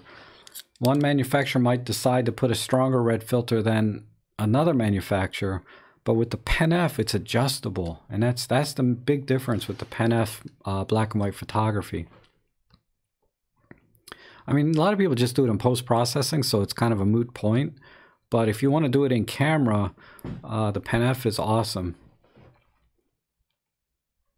Olympus EM1 Mark III in 2020. It's been a long time. Yeah, it's due. it's due. Omega Loopy saying, you know, what's going on with the M1 Mark III. We'll see. We'll see. I, I would I wouldn't be surprised if it comes out this year, but I wouldn't be surprised if it comes out next year in 2021. Because uh, it's going to have to be a pretty substantial leap in tech, like every EM1 Mark. Uh, EM1 in the past has been from one model to the next, has been pretty substantial in terms of features. Image quality, yeah, there's been a progression, but I think in feature set, the M1 Mark 1 to the M1 Mark 2, there was a substantial jump in number of features. Uh, so we'll have to see if we get that same substantial jump. For, they they'll they'll need to do that for the M1 Mark III, is what I'm saying. What's my photography vision for 2020? Uh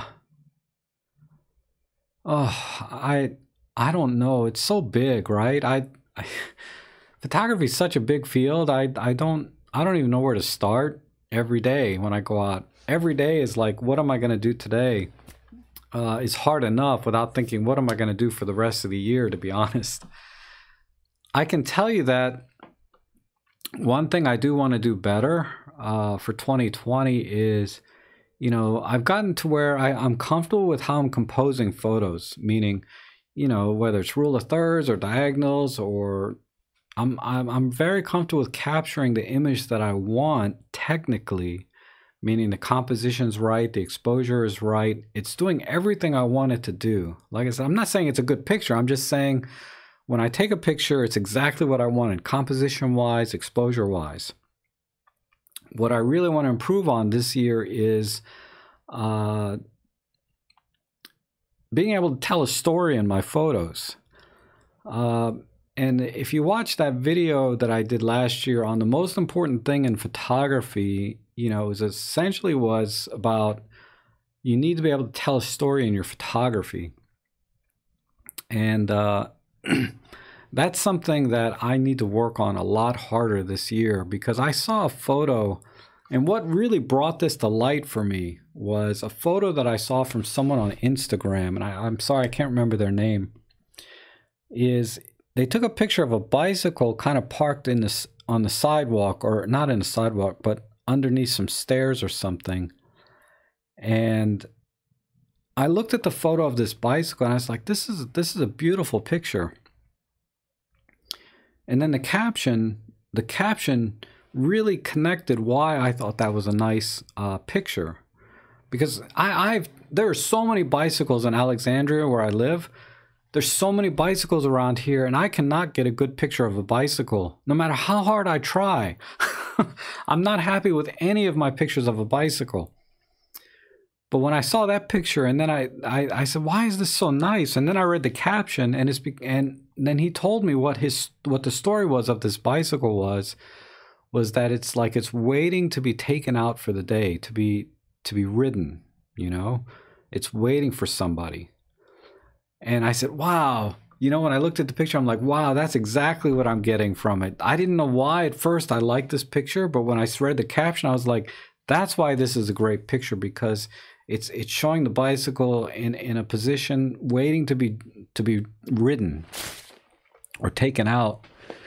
And that's what hit home to me is and that's that's what I want to do better in 2020 is really to look at a scene and say, okay, where is the story in this scene? What would make this image uh, a, a, you know, more interesting than just a snapshot?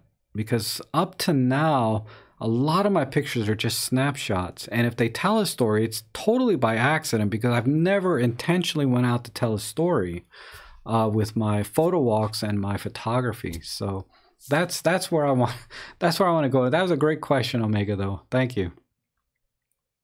Or Shreyas, I'm sorry. That was a great question, Shreyas. Uh,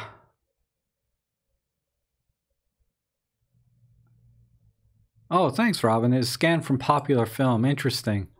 That's what I'm saying. And and Robin is saying that the PenF grain effect was scanned from popular film, and that's what I mean. Is Olympus did not market their uh, their their art filters as film simulations because they never made film. as far as I know, Olympus never manufactured film. Like Fuji makes films, so they didn't have any trademark copyright issues when they said we're going to make these film simulations. But Olympus does film simulations. They just don't. They're just not allowed to call it anything. They have to be more generic and say this is our monochrome profile, right? um, Let's see, Moon Pond. I understand now. Meant in build custom ones. Okay. Good. I'm glad I answered that. I can't remember now. My my short term memory is is is short, and my long term memory is is short. So I don't know. Uh, for monochrome, maybe it's better work with RAWs in Lightroom or Photoshop. You can get monochrome JPEG if you have one. It's true, but you can still do much more with a raw file because the underlying raw file has the colors in it. And when you start to work with monochrome images in post-production, you can really get dramatic results when you're working with the individual color channels from the raw file. So if you want to, because if you have a black and white image, a black and white JPEG, you're not going to be able to say apply a red filter to that because all of the color information is gone and applying a red filter to a JPEG image is not going to make any difference. Versus when you work with a raw file, all that color information is still there. And then you can work with the individual color channels and you can do color mixing or channel mixing. Uh, you know, there's there's so many techniques and processes that can be done in post-processing for monochrome images, but most of them rely on the fact that you have the original RAW file and the original color data of that raw image to work with. Uh, the only thing you can do with a JPEG image really is work with the highlight, shadows, and contrast. Uh, you're not going to be able to work with the color channels. Um, Patrick saying, I was a black and white photographer back in the 70s and 80s and bought the PenF for the in-camera monochrome setting. So much easier than changing filters. Yes. Isn't it though? And, and like I said, the, the adjustable intensity of the individual color filters is awesome on the PenF.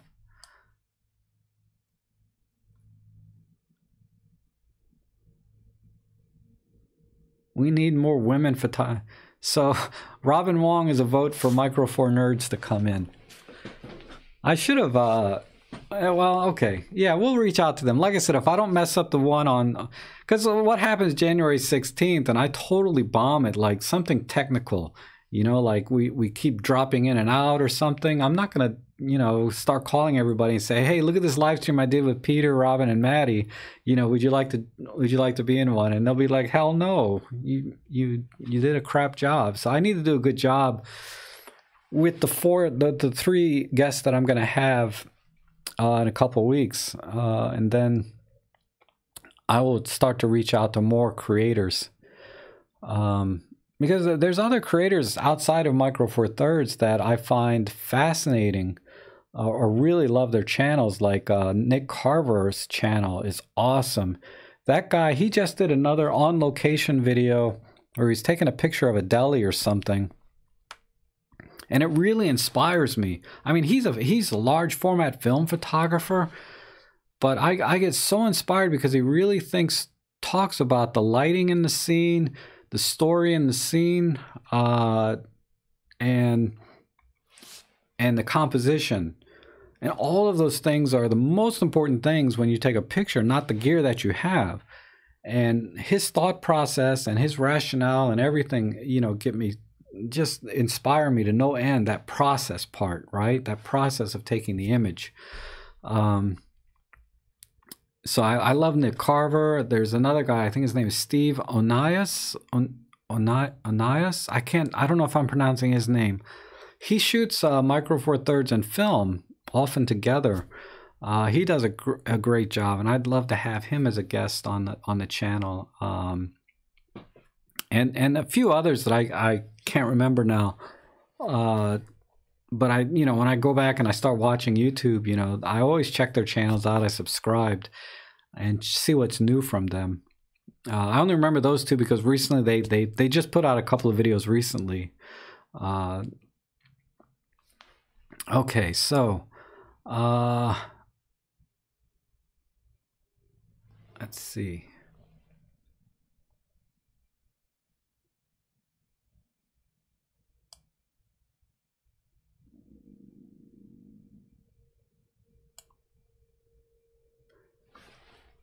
Oh, John, you just updated ACDSee. Yeah, it's um, and it's not technical to learn. Okay, that's good. I'm what I, what I meant was is that it has a lot more features that you won't find in other uh, other um, processors, post pro, uh, not processors, but other uh, picture editors. Like I was specifically like working with ITPC information and EXIF data, you can work with a lot easier, I think, in ACDSee.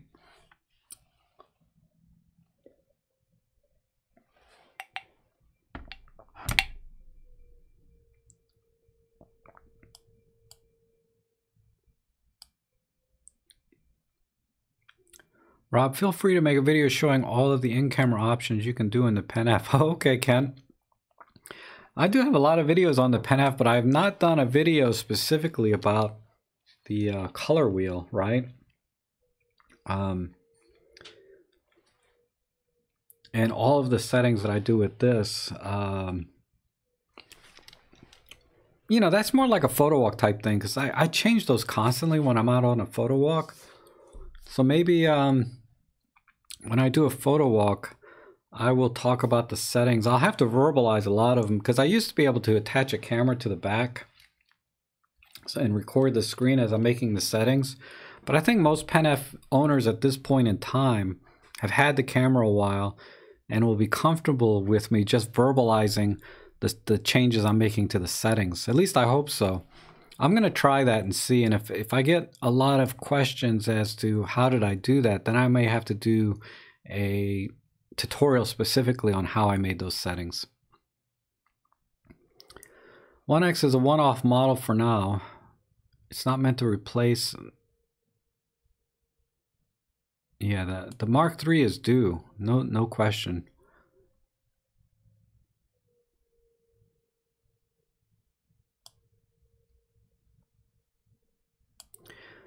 Uh, DigiNoise is asking me if I've ever ordered or or used the SLR Magic 8mm f4. No, I, I have not. I'm not familiar with that lens at all. Uh, but you know, when you come back next week or the week after, you know, you can uh, you can pop in and, and share with us. You know, I'm thinking about on my website to add a forum section because uh, the challenge I'm having is people email me suggestions for videos and they go to my email, but then after a while they kind of get lost and then I forget all of these great ideas and suggestions. But if they're in a forum that I can go to and just look at in a thread, you know, that'll be a lot easier for me. And then I can crank out a lot more videos that are more specific to what you guys are asking me rather than sort of generic videos that I do. Uh, you know, like the the one video I did, all my settings explained on the M5 Mark III. That that's a video. It's a deep dive into the menu system, but that's a generic video, right? It doesn't really answer specific questions that people have, uh, which I try to do in a live stream to some extent, but it's not the same as doing a full on, you know, screen shots and buttons and uh, so check out my website later this week, and I'm going to try and add a forum section to it. Uh, that you know that way I can better help you guys.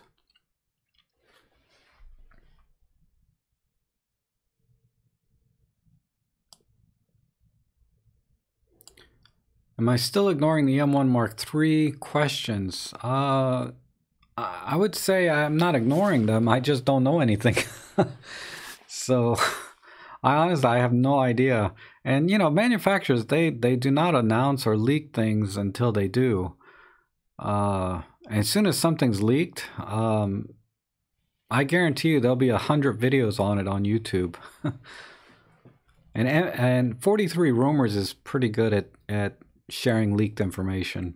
That would be the first place I'd, you'd probably find any info on the M1 Mark III.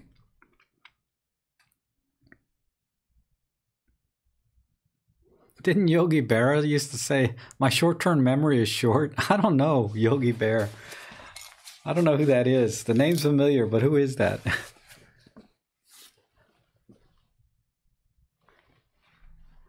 I think your photos are not snapshots. A snapshot Oops, the I lost my place here.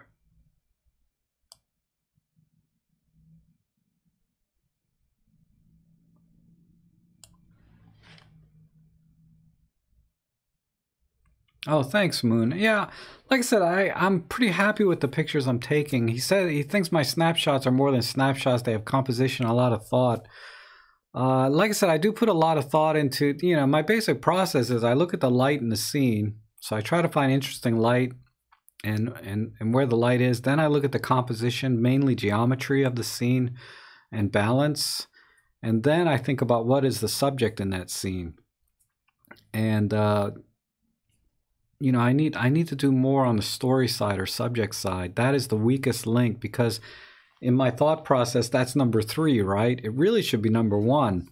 What is the subject? And then work the scene. I don't know. It just that's something I have to really, really work on because my images, uh, and I think in Robin Wong's video he did last week, uh, he recommended a book in one of his videos to get. And I, I was thinking about getting that book.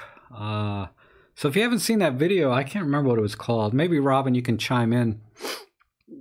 You did a video and you recommended a book on composition. I think it was your street photos, right? How to take better street photography or street photos uh, you had recommended a book in that video that, that I want to get.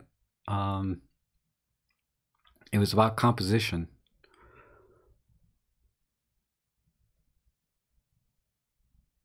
Yeah, Bresson, Cartier Bresson. Yeah, he's uh, uh, he's amazing. I did look at some of his pictures, Logan.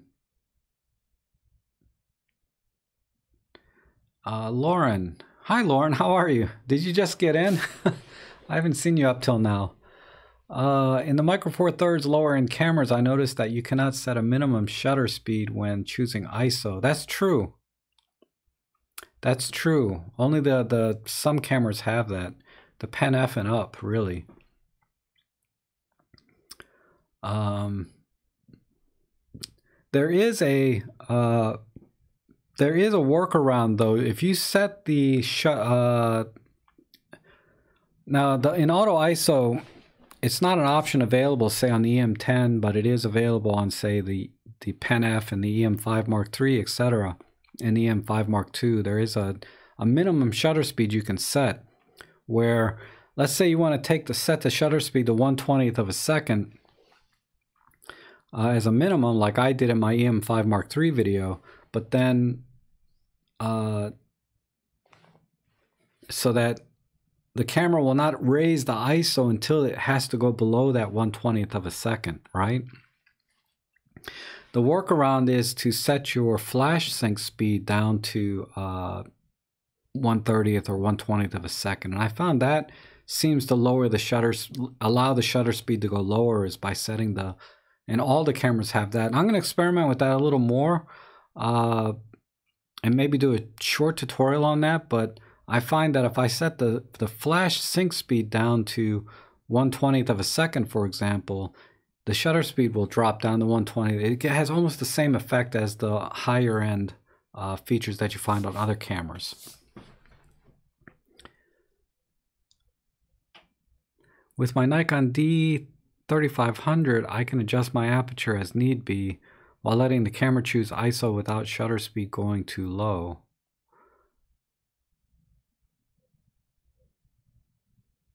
Oh, so you're you're you're doing exactly opposite. You want you want a minimum shutter speed to be faster, like one two fiftieth. Um, I haven't tried it that way. My little hack for our EM10s. Um, where is my EM10? It's on the shelf there. Um,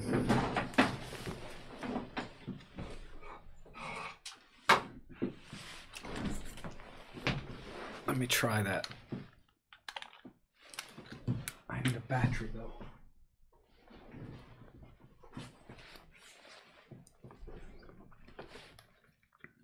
Where are all my batteries? Gosh.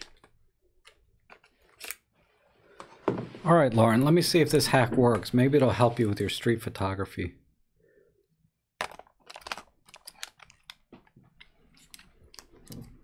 So you want a faster shutter speed of 1 250th. So let me get into, uh, we'll do aperture priority. What are you saying? Let's see, while letting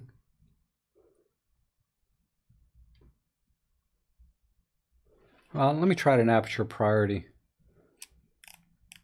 And in this, this room, I have too much light in this room. Let me put my hand over.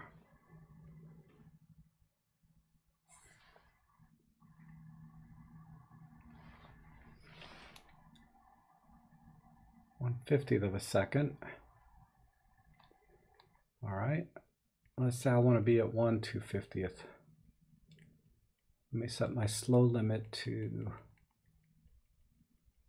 1 250th.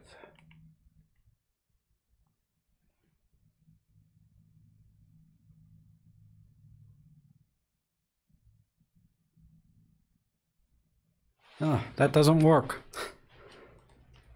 It's because I got the flash off. It shouldn't matter because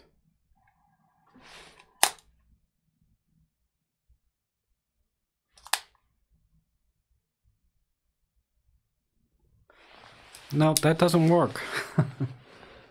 so that trying to go faster, it works when I go lower, when I set the shutter speed slower, but if I set the flash sync speed higher to 1 250th a second, it doesn't it doesn't try to maintain that shutter speed. So yeah, it's kind of a it's kind of a big difference uh, between say the the lower EM10 models that don't have the auto ISO with shutter speed minimums Okay. Oh, Robin's answered your question too. Oh, okay. He's just saying that the higher end cameras have it. Uh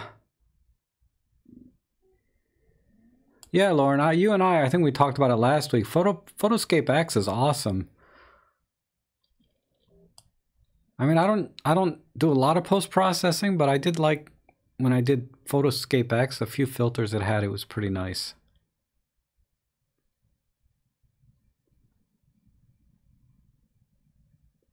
Yeah, Kent, the workaround I was thinking of was that uh, there, he's saying that there's a workaround for that minimum shutter speed. It seems to work when you lower the shutter speed or slow it down, but when you speed it up to say 1 250th, the flash sync speed hack doesn't work.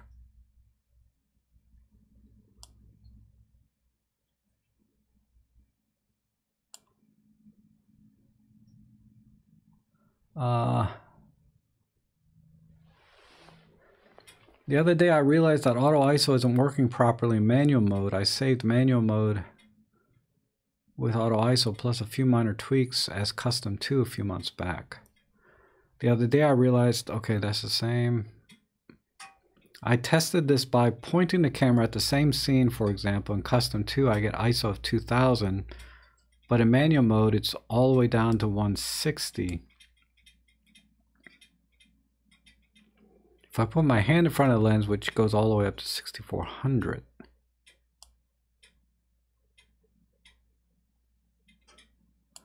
uh, man, I'm way behind because these are questions from like 10 minutes ago. but let me try and let me try and uh, understand what Magnus is asking. Auto ISO isn't working properly. So in custom 2 I get ISO 2000 but in manual mode it goes all the way down. If I put my hand in front of the lens it goes all the way up to 6400.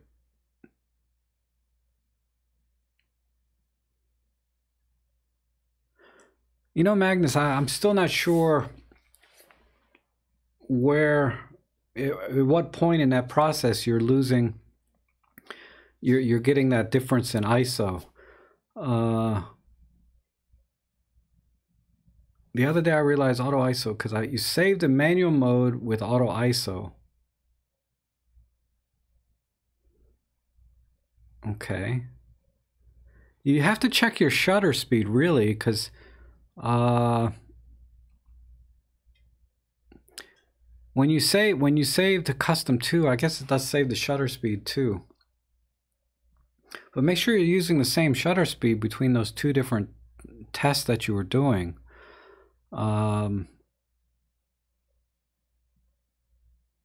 and then I'm not sure which camera you have either, Magnus. So um, I gosh, I wish I wish we could be a little more interactive because going back and reading this, it's a little bit hard to follow.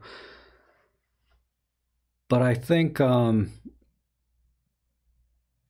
I, I need to know which camera you have, and then I can kind of get a better idea of what's going on. If it's the EM10 without a minimum shutter speed setting for auto ISO, um, oh my gosh, I'm a little bit lost, but I, I know where you're coming from. Let's see. So if I go into manual mode, yeah, the ISO jumps. And then you're saying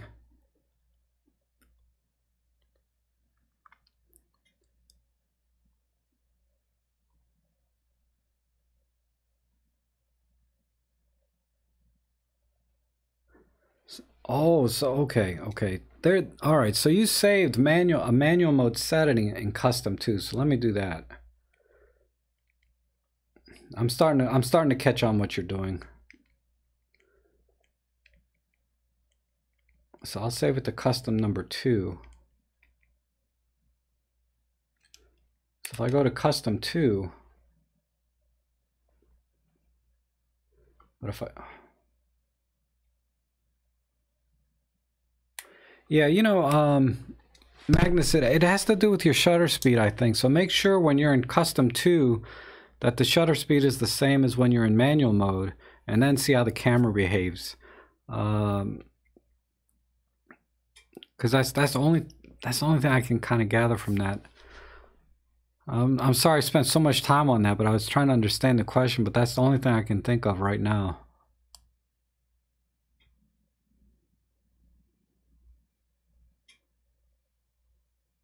Oh, the video. Yeah, thanks, Robin, for clarifying. Michael Freeman, The Photographer's Eye. Uh, that, that was the book that Robin recommended in his video.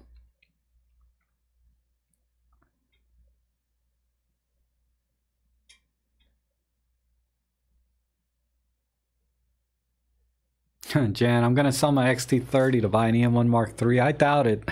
I, I have a hard time letting go of gear. Uh, by the time the M1 Mark III comes out, you know, this will be worth like $400, right? Because look, look what happened to the food, a lot of the Fuji films, right? Uh, except for the X Pro series, the, their prices go down fast. Uh, I don't know. I, I that the XT30. It's uh, anyway. It it is what it is. Um,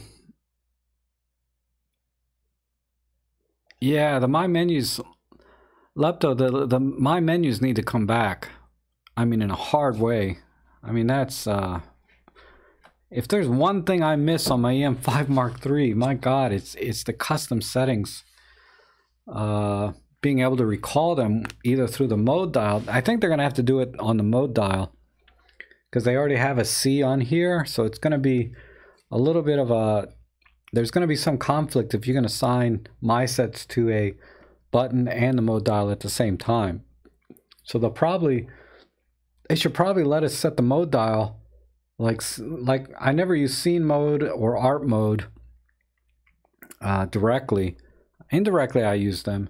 So if we could assign C2 and C3 to art mode and scene mode and iAuto, have a C4, that would be awesome.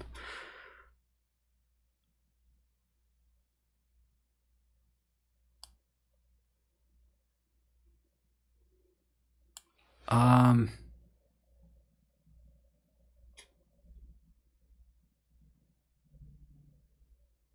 Oh, thanks, uh, Bennis. Yeah, the, the minimum shutter speed only works with mechanical shutter speed with Flash, because Flash is mechanical shutter speed uh, requirement, or requires mechanical shutter. That may have changed on the M5 Mark III.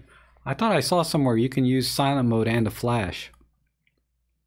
i have to look into that. Um, but burnt be nice to you. Yeah, be nice to you is saying uh,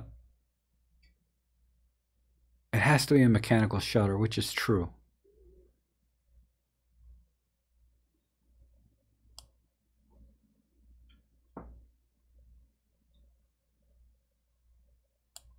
Yogi Berra played baseball. Oh, yeah, I'm not a baseball fan, John. But thanks, thanks for bringing that up. My God, I'm so behind here.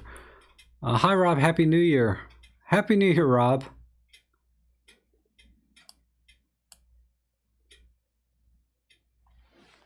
Yogi Berra for the Yankees. Okay. I have no idea. I, I don't follow sports hardly at all. Although I have been watching a lot of boxing and MMA lately. I liked, uh, I was watching some old Mike Tyson uh, fights. That guy was, that guy was amazing. It's amazing boxer.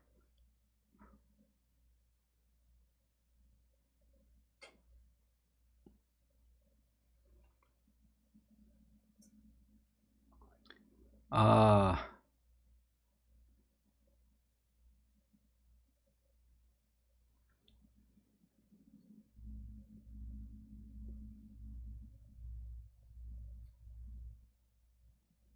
okay, thanks for clarifying, Robin. Yeah. So the shutter, the speed sync's 120th of a second on the uh, flash. So yeah, just read Robin's comment there. You can use silent mode with flash for the Pen F and EM5 Mark II. The flash sync speed is 120th. The M1 Mark II and newer cameras, the flash sync speed is 160th in silent mode, which is that's that's pretty cool. I'm not sure why you would use silent mode though with a flash. Uh, maybe for pets and things, I guess. That sound of that clackety shutter sometimes. I've noticed that my one dog that I used to have, man, that shutter used to freak him out. Flash didn't bother him. So I could see with pets that would be kind of cool. Hi Outlook, how are you? Good morning.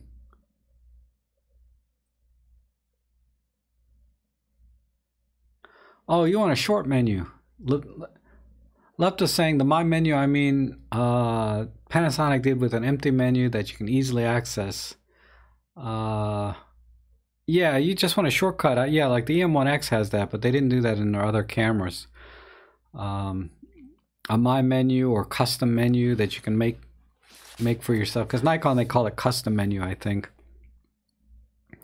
Uh, yeah, that that would be handy though. That's true. You can quickly access the things you use all the time. oh, the 50. Yeah, that's right. You know, Robin, you, you, you reminded me. Silent mode is needed for 50 megapixel high res. You can take a studio shot with flash with 50. I did do a video on that actually. I totally forgot about that of how to use flash with uh, uh, well, I didn't do it specifically on high res shot mode. I did it on. Uh, I did a video on focus stacking or focus bracketing with flash. Uh, and I may have included the high res mode too, but I can't remember. That video is really old. I should really redo a lot of my flash uh, videos.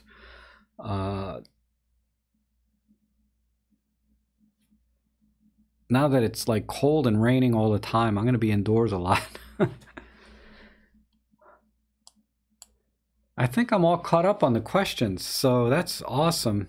And man, it's almost 12 o'clock. Uh, yeah, focus bracketing. Yeah, Robin, that's right. Um, yeah, I do have a video on that, using Flash with focus bracketing. But anyhow, um, where was I going? Yeah, so I hopefully I've answered everyone's questions up to this point. Um, if I did not, ask me again. Because every time now, every time I do these live streams, I actually watch them again uh, myself. Sometimes a couple of times, two or three times after I've already done the live stream. So we're talking, you know, four to six hours after this is over, I watch them again. And I always find somebody that I missed their question. And it's not intentional. I just legitimately just, I missed your question.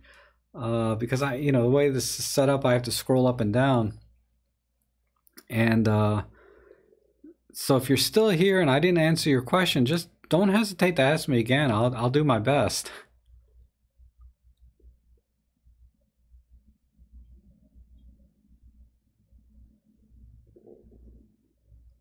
Oh, okay. So here's a good example. Like I almost missed uh, Palumbo's here.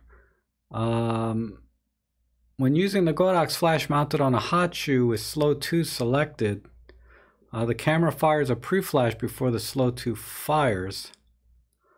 Um, that pre-flash is basically for uh, when you're in a you, you have to be you have to change the flash mode to fill in, I believe. So where's where's a camera that has a battery? Here. You can do it in your super control panel. So let me turn the flash on.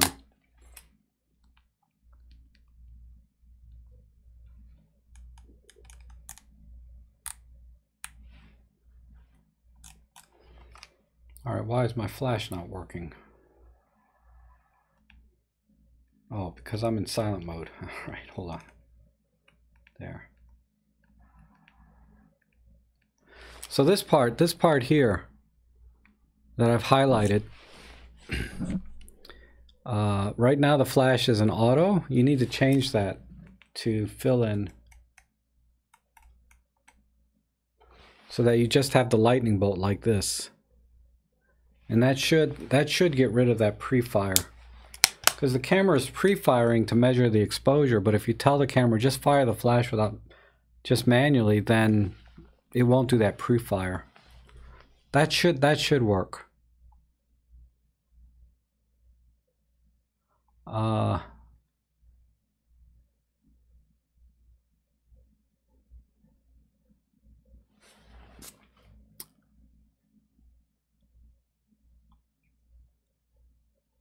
Okay, so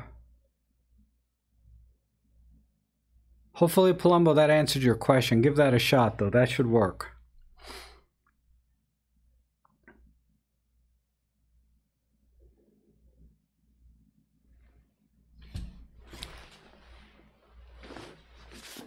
And you probably saw my video on how to set up the Godox for off-camera flash. Uh, I do demonstrate that particular problem with that pre-fire, it's not a problem, but that particular uh, workflow where it pre-flashes or doesn't pre-flash.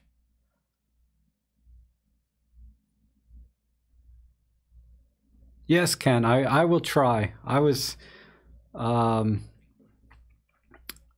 you know, with the Pen F, I, a lot of the settings I change on the fly when I'm in the field because it's it's so uh, flexible when you're in the field and uh, so it, will be more of a photo walk type video if I do something like that where I can show all the different options I do on the Pen F Uh, and again, it's because I think most owners at this point are pretty familiar with the Pen F, uh, with the settings. So I can just verbalize the settings uh, rather than doing it on a full-on tutorial where I have, you know, the camera set up with another camera behind it, etc. Um, that might, that yeah, I'd like to do that. I, I took the Pen out the other day oh, like I said, I got two vlogs that I did this week, and they they both bombed. I, I I wanted to post them because I I hate you know. Oh, anyway, um, that's that. But do I ever use vintage lenses? Yes. Now by vintage, now Moonpond is asking, do I ever use vintage lenses? Um, and by vintage, I use like 1970s and 1980s lenses. They, some wouldn't call those vintage lenses, but they're vintage to me, right? Um, but there there are others that use that go way back to the 50s and 40s and 20s, right? They they get those Russian Russian lenses, and then there's the old Jupiter lenses. There's a lot of lenses from the 50s and 60s that are that are excellent. Uh, I have not bought any of those, but I do enjoy vintage lenses from Nikon from the 70s and 80s that were manual focus. Um, the 135 f3.5, the uh, the 105 f2.5 Nikons, I love those lenses. I also have the 200 millimeter f4. There's they're kind of scattered all over my room here, but yeah, I do use vintage lenses, and I have a video about adapting lenses to Olympus cameras. You set up the focus peaking, you set up the uh, uh, image stabilization, etc. So you can check that out if you're interested in in doing that. It's it's very easy though. You might be able to figure it out without looking at my video. Who knows? So Palumbo's asking how to get only second curtain flash without a pre-flash. Oh, that's a good question. Because you were saying you're in slow 2 selected. That's a good question. Uh,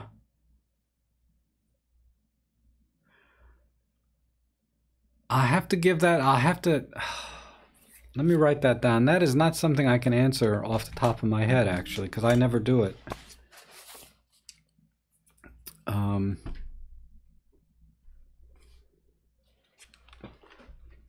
I used to have a thousand pens sitting here. Okay. So you're in slow two without pre-flash. And it's on camera. So you're using the Godox on camera, right? On camera.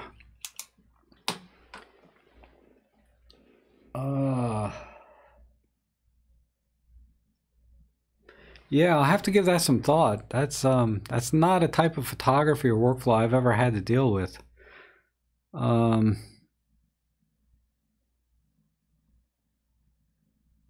Yeah, that's a good question. Maybe Robin knows. I I don't know.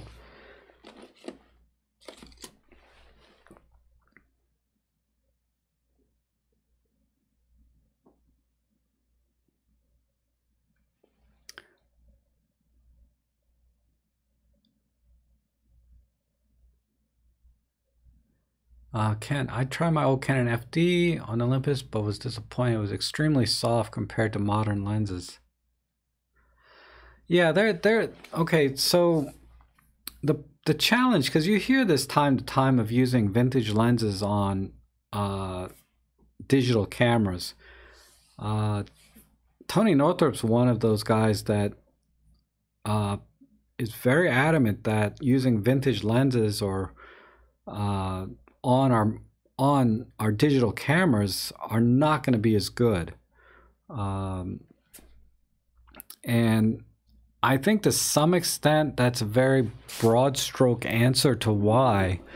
I don't think he really explains why. He just says that they are not as good or not as sharp.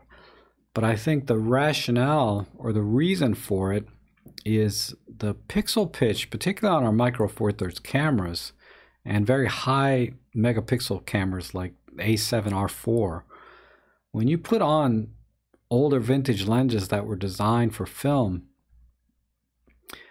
there's a lot of uh, uh, lens. What's oh my God? What's the word I'm looking for? Lens defects or imperfections about every lens ever manufactured, whether it's vintage or modern. Modern lenses, you know, they have the electrical contacts, and those imperfections or defects in the lens are corrected by the software in the camera. Uh, like if you use an Olympus lens on an Olympus camera, and it kind of goes back to why I was saying you always use Olympus lenses with Olympus cameras because if you put a Panasonic lens on an Olympus camera, it doesn't have that software to do those sort of corrections like purple fringing, uh, vignetting, etc. And vintage lenses are the same thing, right? The, the Olympus camera does not have, or any camera, digital camera, does not have a database of that vintage lens in it. So all of the imperfections that are normally corrected by the software in the camera, particularly purple fringing and vignetting, are non-existent for vintage lenses. And in addition to that, the pixel pitch of the high resolution cameras and our Micro Four Thirds cameras, even though they're 16 megapixel or 20 megapixel, they are very high resolution cameras relative to their pixel pitch. Um, so it it's able to see those imperfections in the lenses even more so than a low resolution camera uh, or film. So that's why uh, when you put on a vintage lens, sometimes they may seem to be inferior to a modern lens. And when when I think inferior is the wrong word. I think the correct word is they have a very different character than a modern lens. Modern lenses are very technically accurate and and trying to produce a sharp image from edge to edge uh, without any vignetting, without any chromatic aberration, you know, purple fringing, etc. And the uh, the vintage lenses they don't have any of that going for it, right? They have the, we're relying straight on what the optical image coming through that uh, lens is. And the fact that we have a very fine pixel pitch also picks up those imperfections, particularly like purple fringing. Uh, and, and even at a subtle level, level, if you can't see the purple fringing, we're going to pick up that, that it's going to be perceived as less sharp or less contrasty when those imperfections are not corrected in the camera. But that all said, you know, vintage lenses can be a lot of fun and, and great and produce terrific images, even if they'll never be quite appear as quite as sharp. Uh, in many cases, particularly like the vintage zoom lenses, just avoid those completely. Vintage zoom lenses, they suck. And there are one or two exceptions to that, right? Can't remember which ones they are.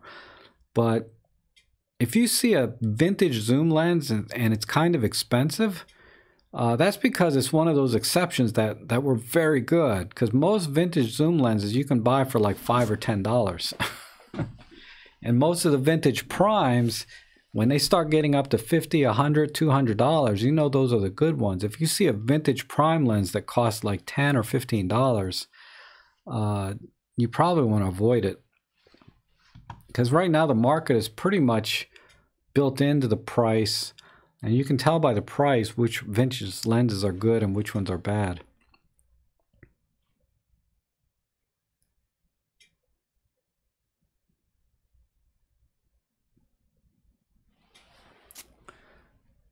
Okay, uh, let's see.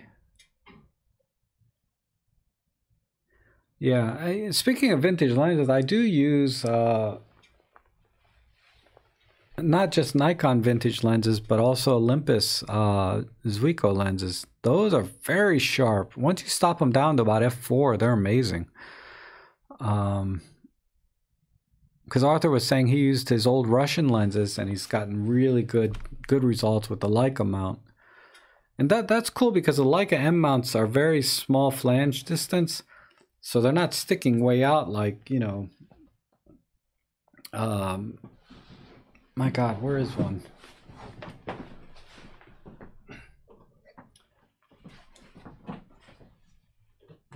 Ouch. but yeah, here's here's here's my 135 f3.5 with the uh, micro four thirds adapter on there. Uh, this is one I like to use time to time. And then this is the uh, this is my Zuiko vintage lens. And what I like about the Zuikos is they're very compact lenses. And very sharp, just as sharp as uh, any modern lens I've ever used, to be honest, that I can tell. I have a I have a vlog where I was imitating Kodachrome uh, 64 with my Pen F, and I used this exact lens. So you can look at the images from that.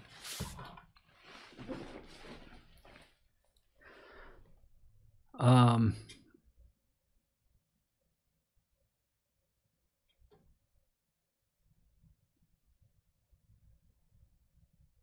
Purple fringing on a 300 millimeter Olympus film lens. Yeah, I bet.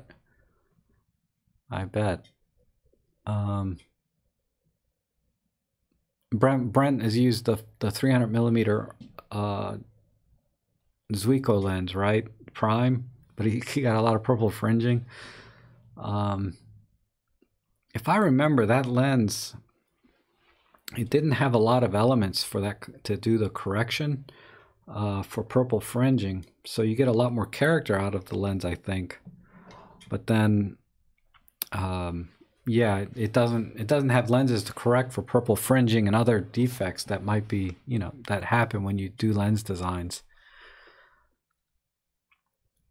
The 50 millimeter FD14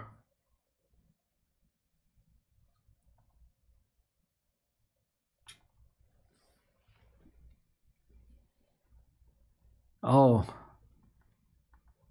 Feng Himan is saying that the you're only using one quarter of the image circle of a full frame lens, so you're quadrupling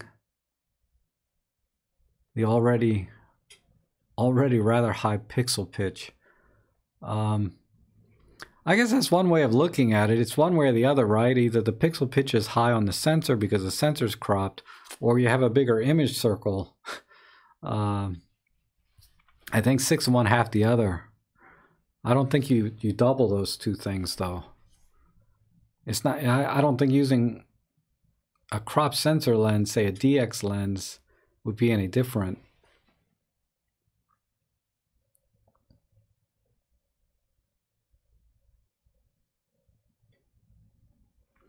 Yeah, Logan is Logan is uh, saying that the 20 megapixel 4 thirds sensor is equivalent to 80 megapixel full frame, for instance, in pixel density.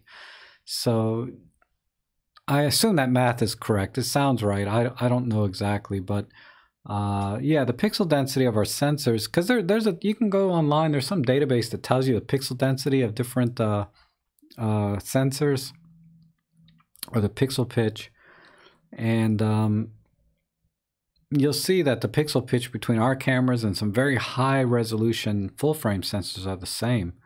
And they would have the same issues with a vintage lens as, as our cameras.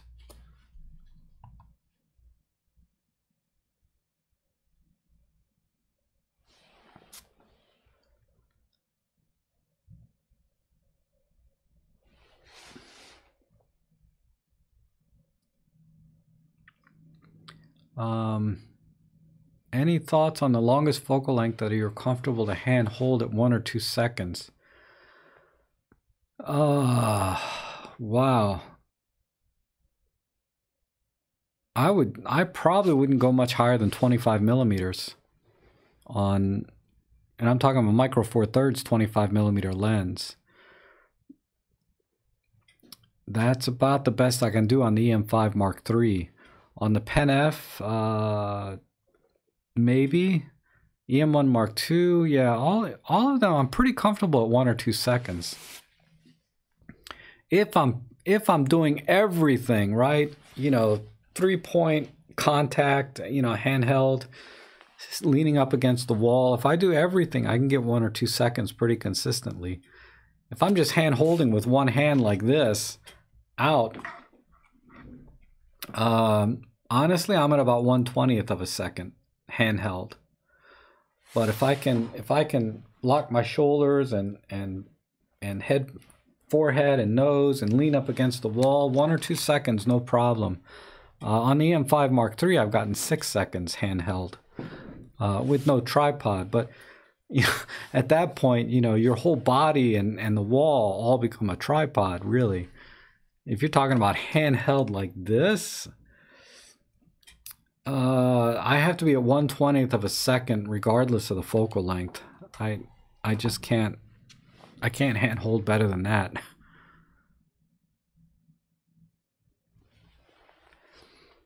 Um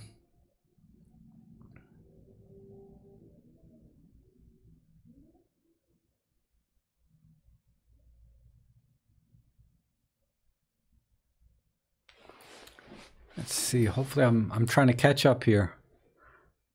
Robin, you're being very gracious to help my uh the the viewers here in the chat. I appreciate that. Uh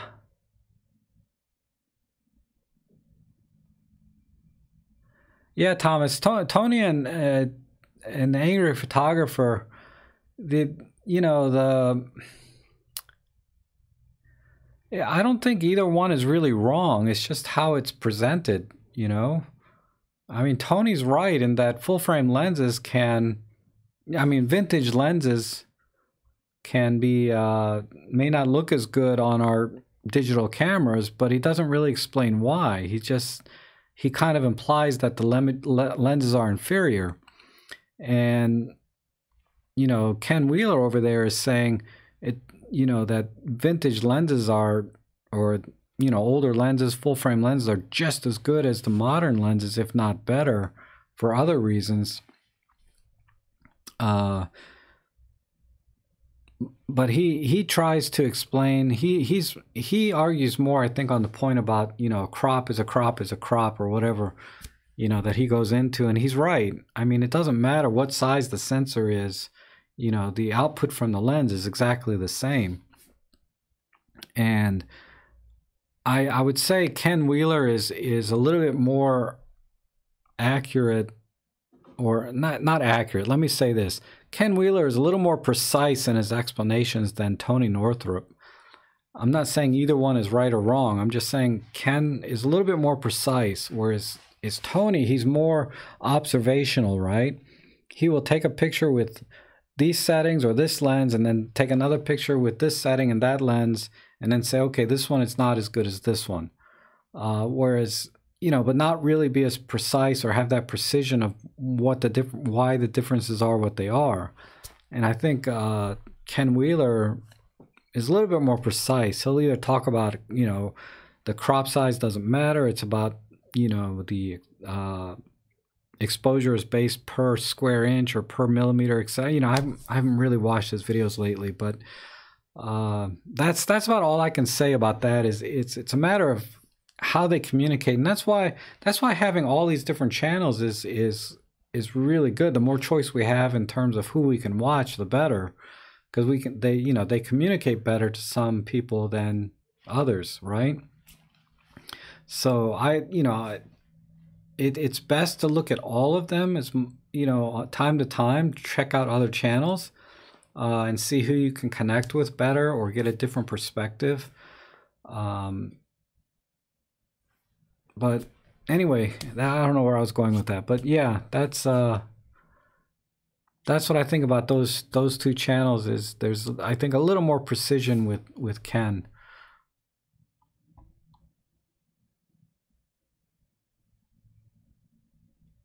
Uh,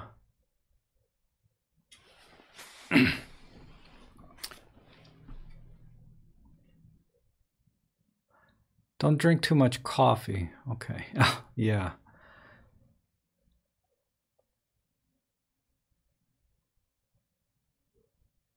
I heard the GX80 does in-body defringing that would help with vintage lenses.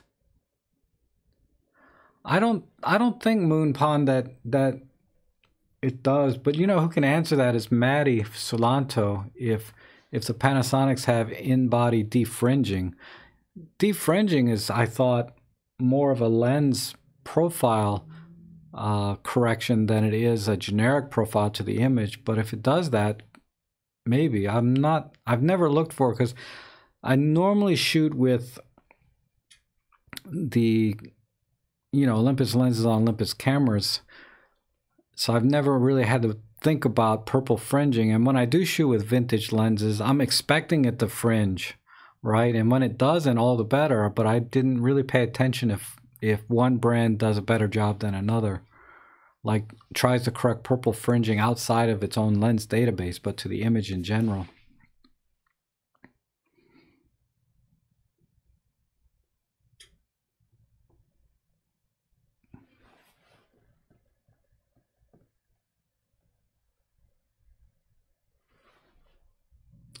Your enthusiasm in your videos is infectious. I assume you're talking about Robin because he is he is the happiest man on earth. I think he's always smiling and and very enthusiastic and yeah, that's why I love his channel. You know, he's just uh, and he's been cranking them out lately too. Some really good videos. So yeah, definitely definitely watch. You know, if you haven't watched his, his channel in a couple of weeks, man, you got a lot of catching up to do. He's done a lot of videos in the last couple of weeks. Most of us, you know, like me and Peter and Matti and Red 35, you know, all of us, I don't know, and whoever else, man, we've been kind of slacking video wise, but Robin has not. He's been he's been at it.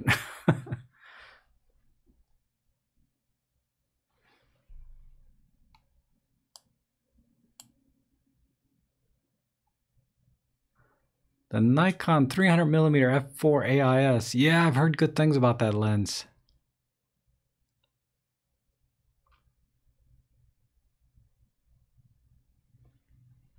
Oh, hey Rick, how are you? He's giving feedback. The vintage, the light transmission of a vintage lens is different when fitted to its original film camera versus when you use an adapter to fit it. Uh, I'm curious about that. I'm not, I don't doubt you, but I don't know why the light transmission would be different because basically on the micro four thirds or, you know, when you're adapting a lens, you're, you're, you're bringing the, uh, all you're doing is adding the flange distance to it, which would be the same on the, the native camera that it was made for but that's that's that's over my head a little bit about the optics of or design of cameras in general, right? Lenses and camera bodies. So there's there's something there that I'm not seeing. That's very possible.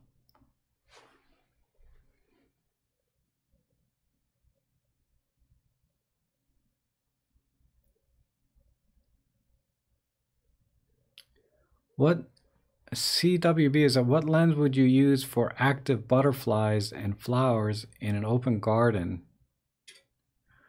Uh, I would use the 75 to 300.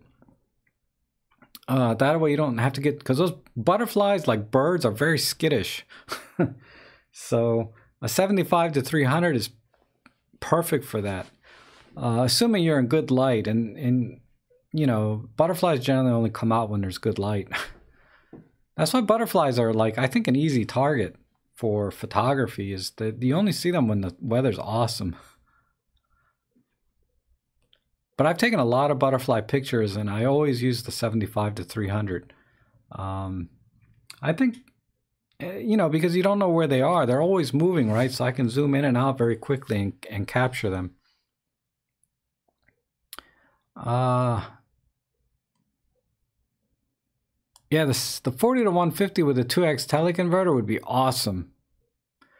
Uh, the 40 to 150 Pro lens. But even the 40 to 150 kit lens is pretty awesome for, for butterflies too. I mean, it just depends how close you can get. If you can get really close to one, uh, you know, 25 millimeter prime would be best, but generally you can't get too close to butterflies. So 75 to 300 for me. 40 to 150 maybe. But if it's the 40 to 150 Pro with a 2x teleconverter, that's an awesome combo. You'll get tack sharp images that way. If you want to get serious about butterfly pics, yeah.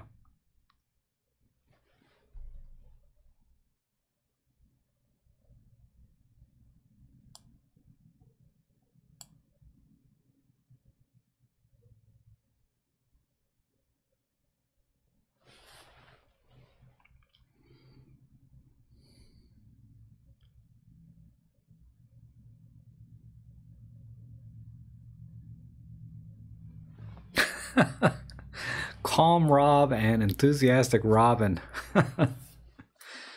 I guess just like our pictures, right? We need balance.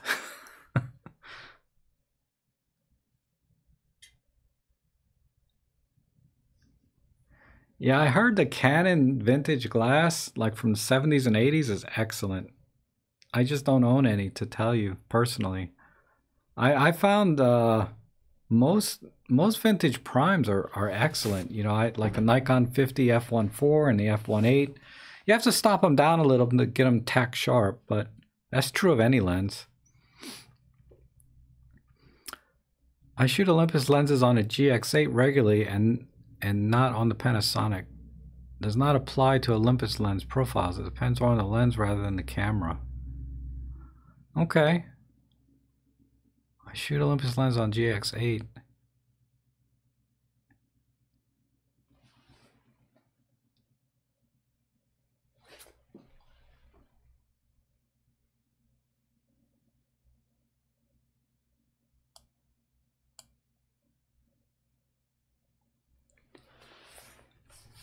Yeah, I mean, yeah, all lenses have have defects at different degrees. Like I said, like with purple fringing, some lenses are going to be less prone to that than others. But I, I haven't, I haven't owned both systems long enough. I, I should say I haven't owned the Panasonic long enough to get a feel for uh, how different lenses perform on it versus on our Olympus cameras. I can only speak from uh, from what I've read, right?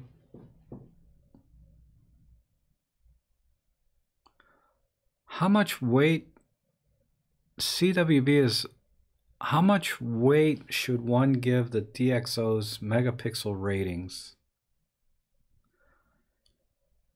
I wouldn't Okay, I don't think the Okay, so DxO Mark is like a website and they have something called uh, virtual megapixels or perceptual megapixel ratings for various lenses. And uh, understand that they're in a lab and they have a very good description of how they come up with those numbers. And I think it's essentially they they they uh, they print to an 8 by 10 or they look at a standard 1080p monitor. I forget the specs of how they come up with their metrics on how they measure the perceptual megapixels of the you know how much a lens can resolve.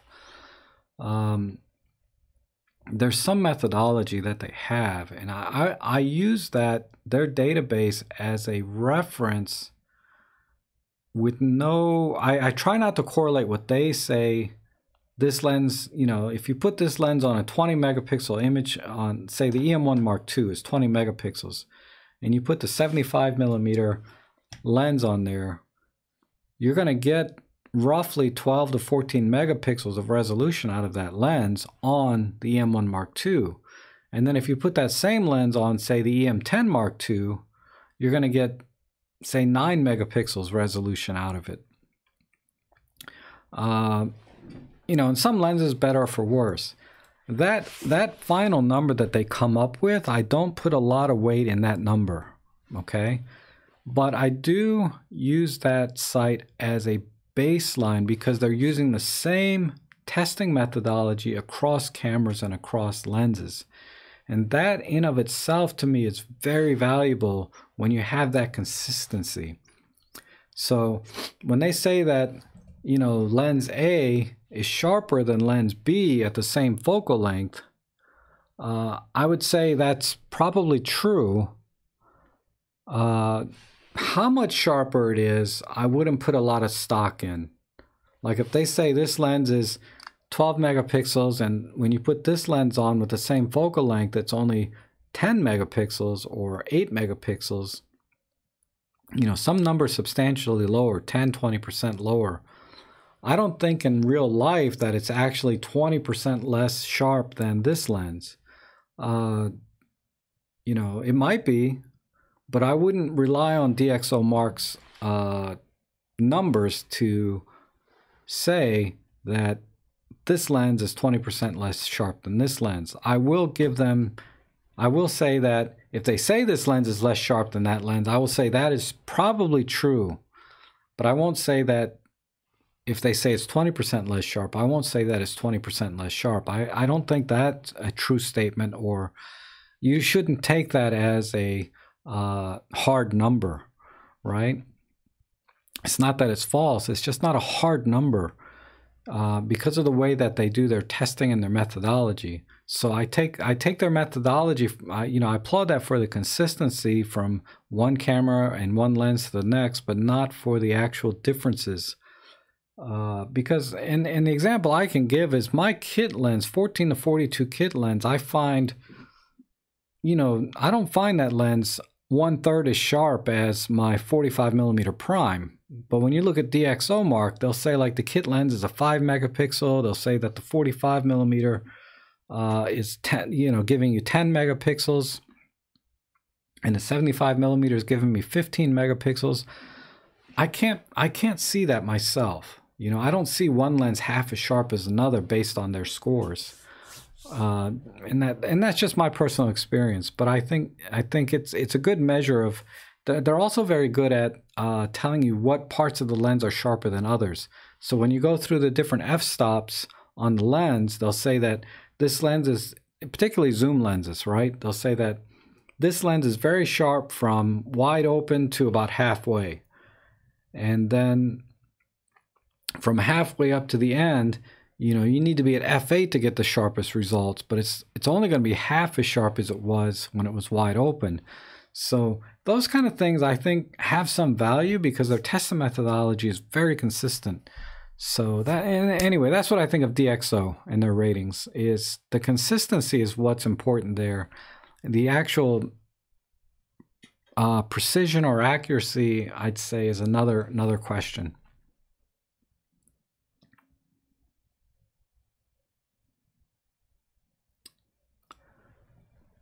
Uh, M43 cropping means that you're not using the full width of the optics of the vintage lens. If you use the laser beam, it followed a different light path through the lens to the film's versus sensor. Oh, interesting. Interesting. Yeah, I it's a little beyond me, Rick, to be honest. Those those kinds of technical details about using full frame lenses on a crop sensor. Um, the full width of the optics of a vintage lens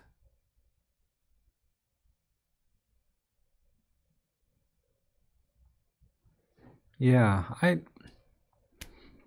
I don't know. I I haven't um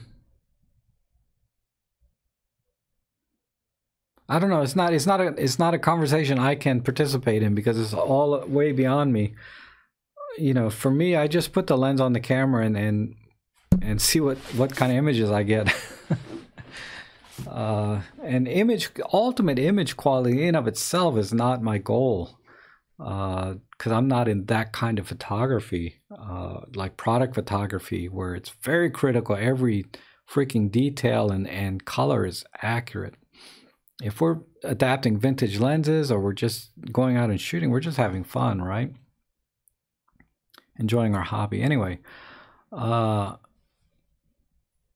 and I don't know if you were here earlier, Rick, when I talked about this. Bad, was this the brand?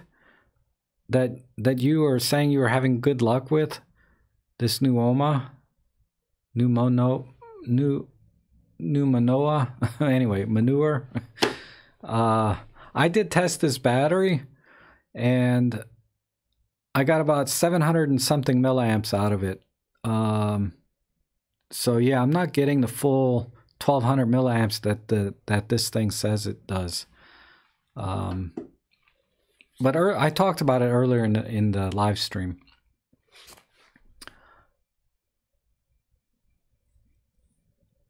Uh, let's see.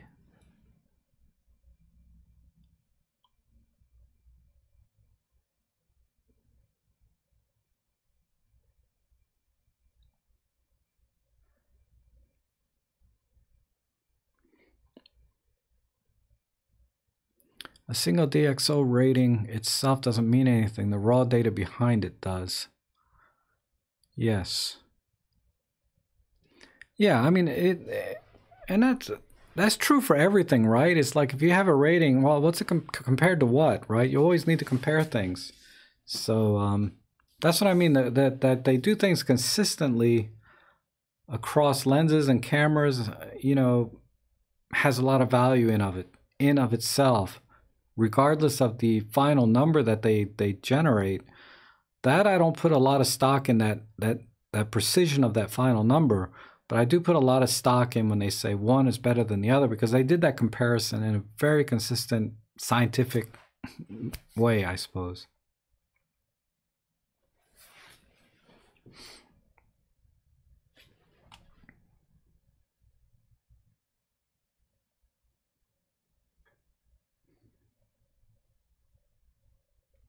All noobs worship at the altar of DI. I, I hope not.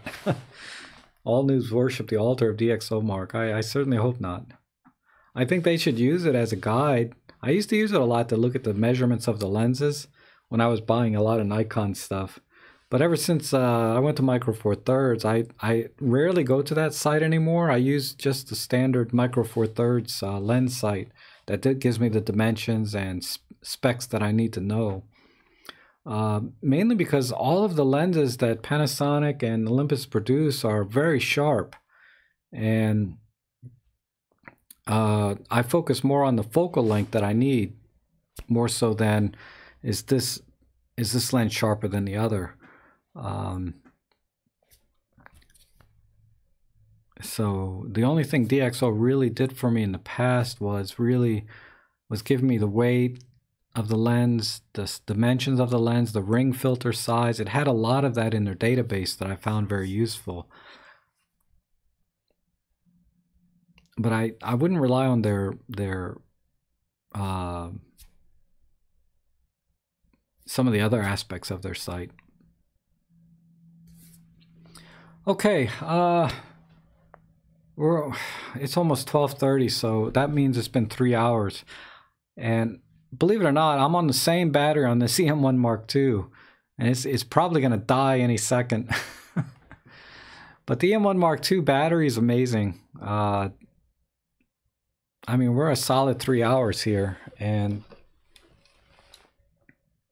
yeah, it's blinking red. So I'm I'm gonna have to stop stop here. Uh, so we'll end it here. But again, thanks everybody for coming in and joining me. And uh, Robin, thanks for coming in and helping out some of the uh, the participants here. So uh, look for next Sunday as usual, and if I can get one in between, maybe. Uh, but look for January 16th for the collaboration live stream at 3:45 Eastern Daylight Time uh, between me, Robin, and Peter Forsgaard. So you guys, uh, thanks again for joining and Happy New Year, and uh, we'll see you again soon.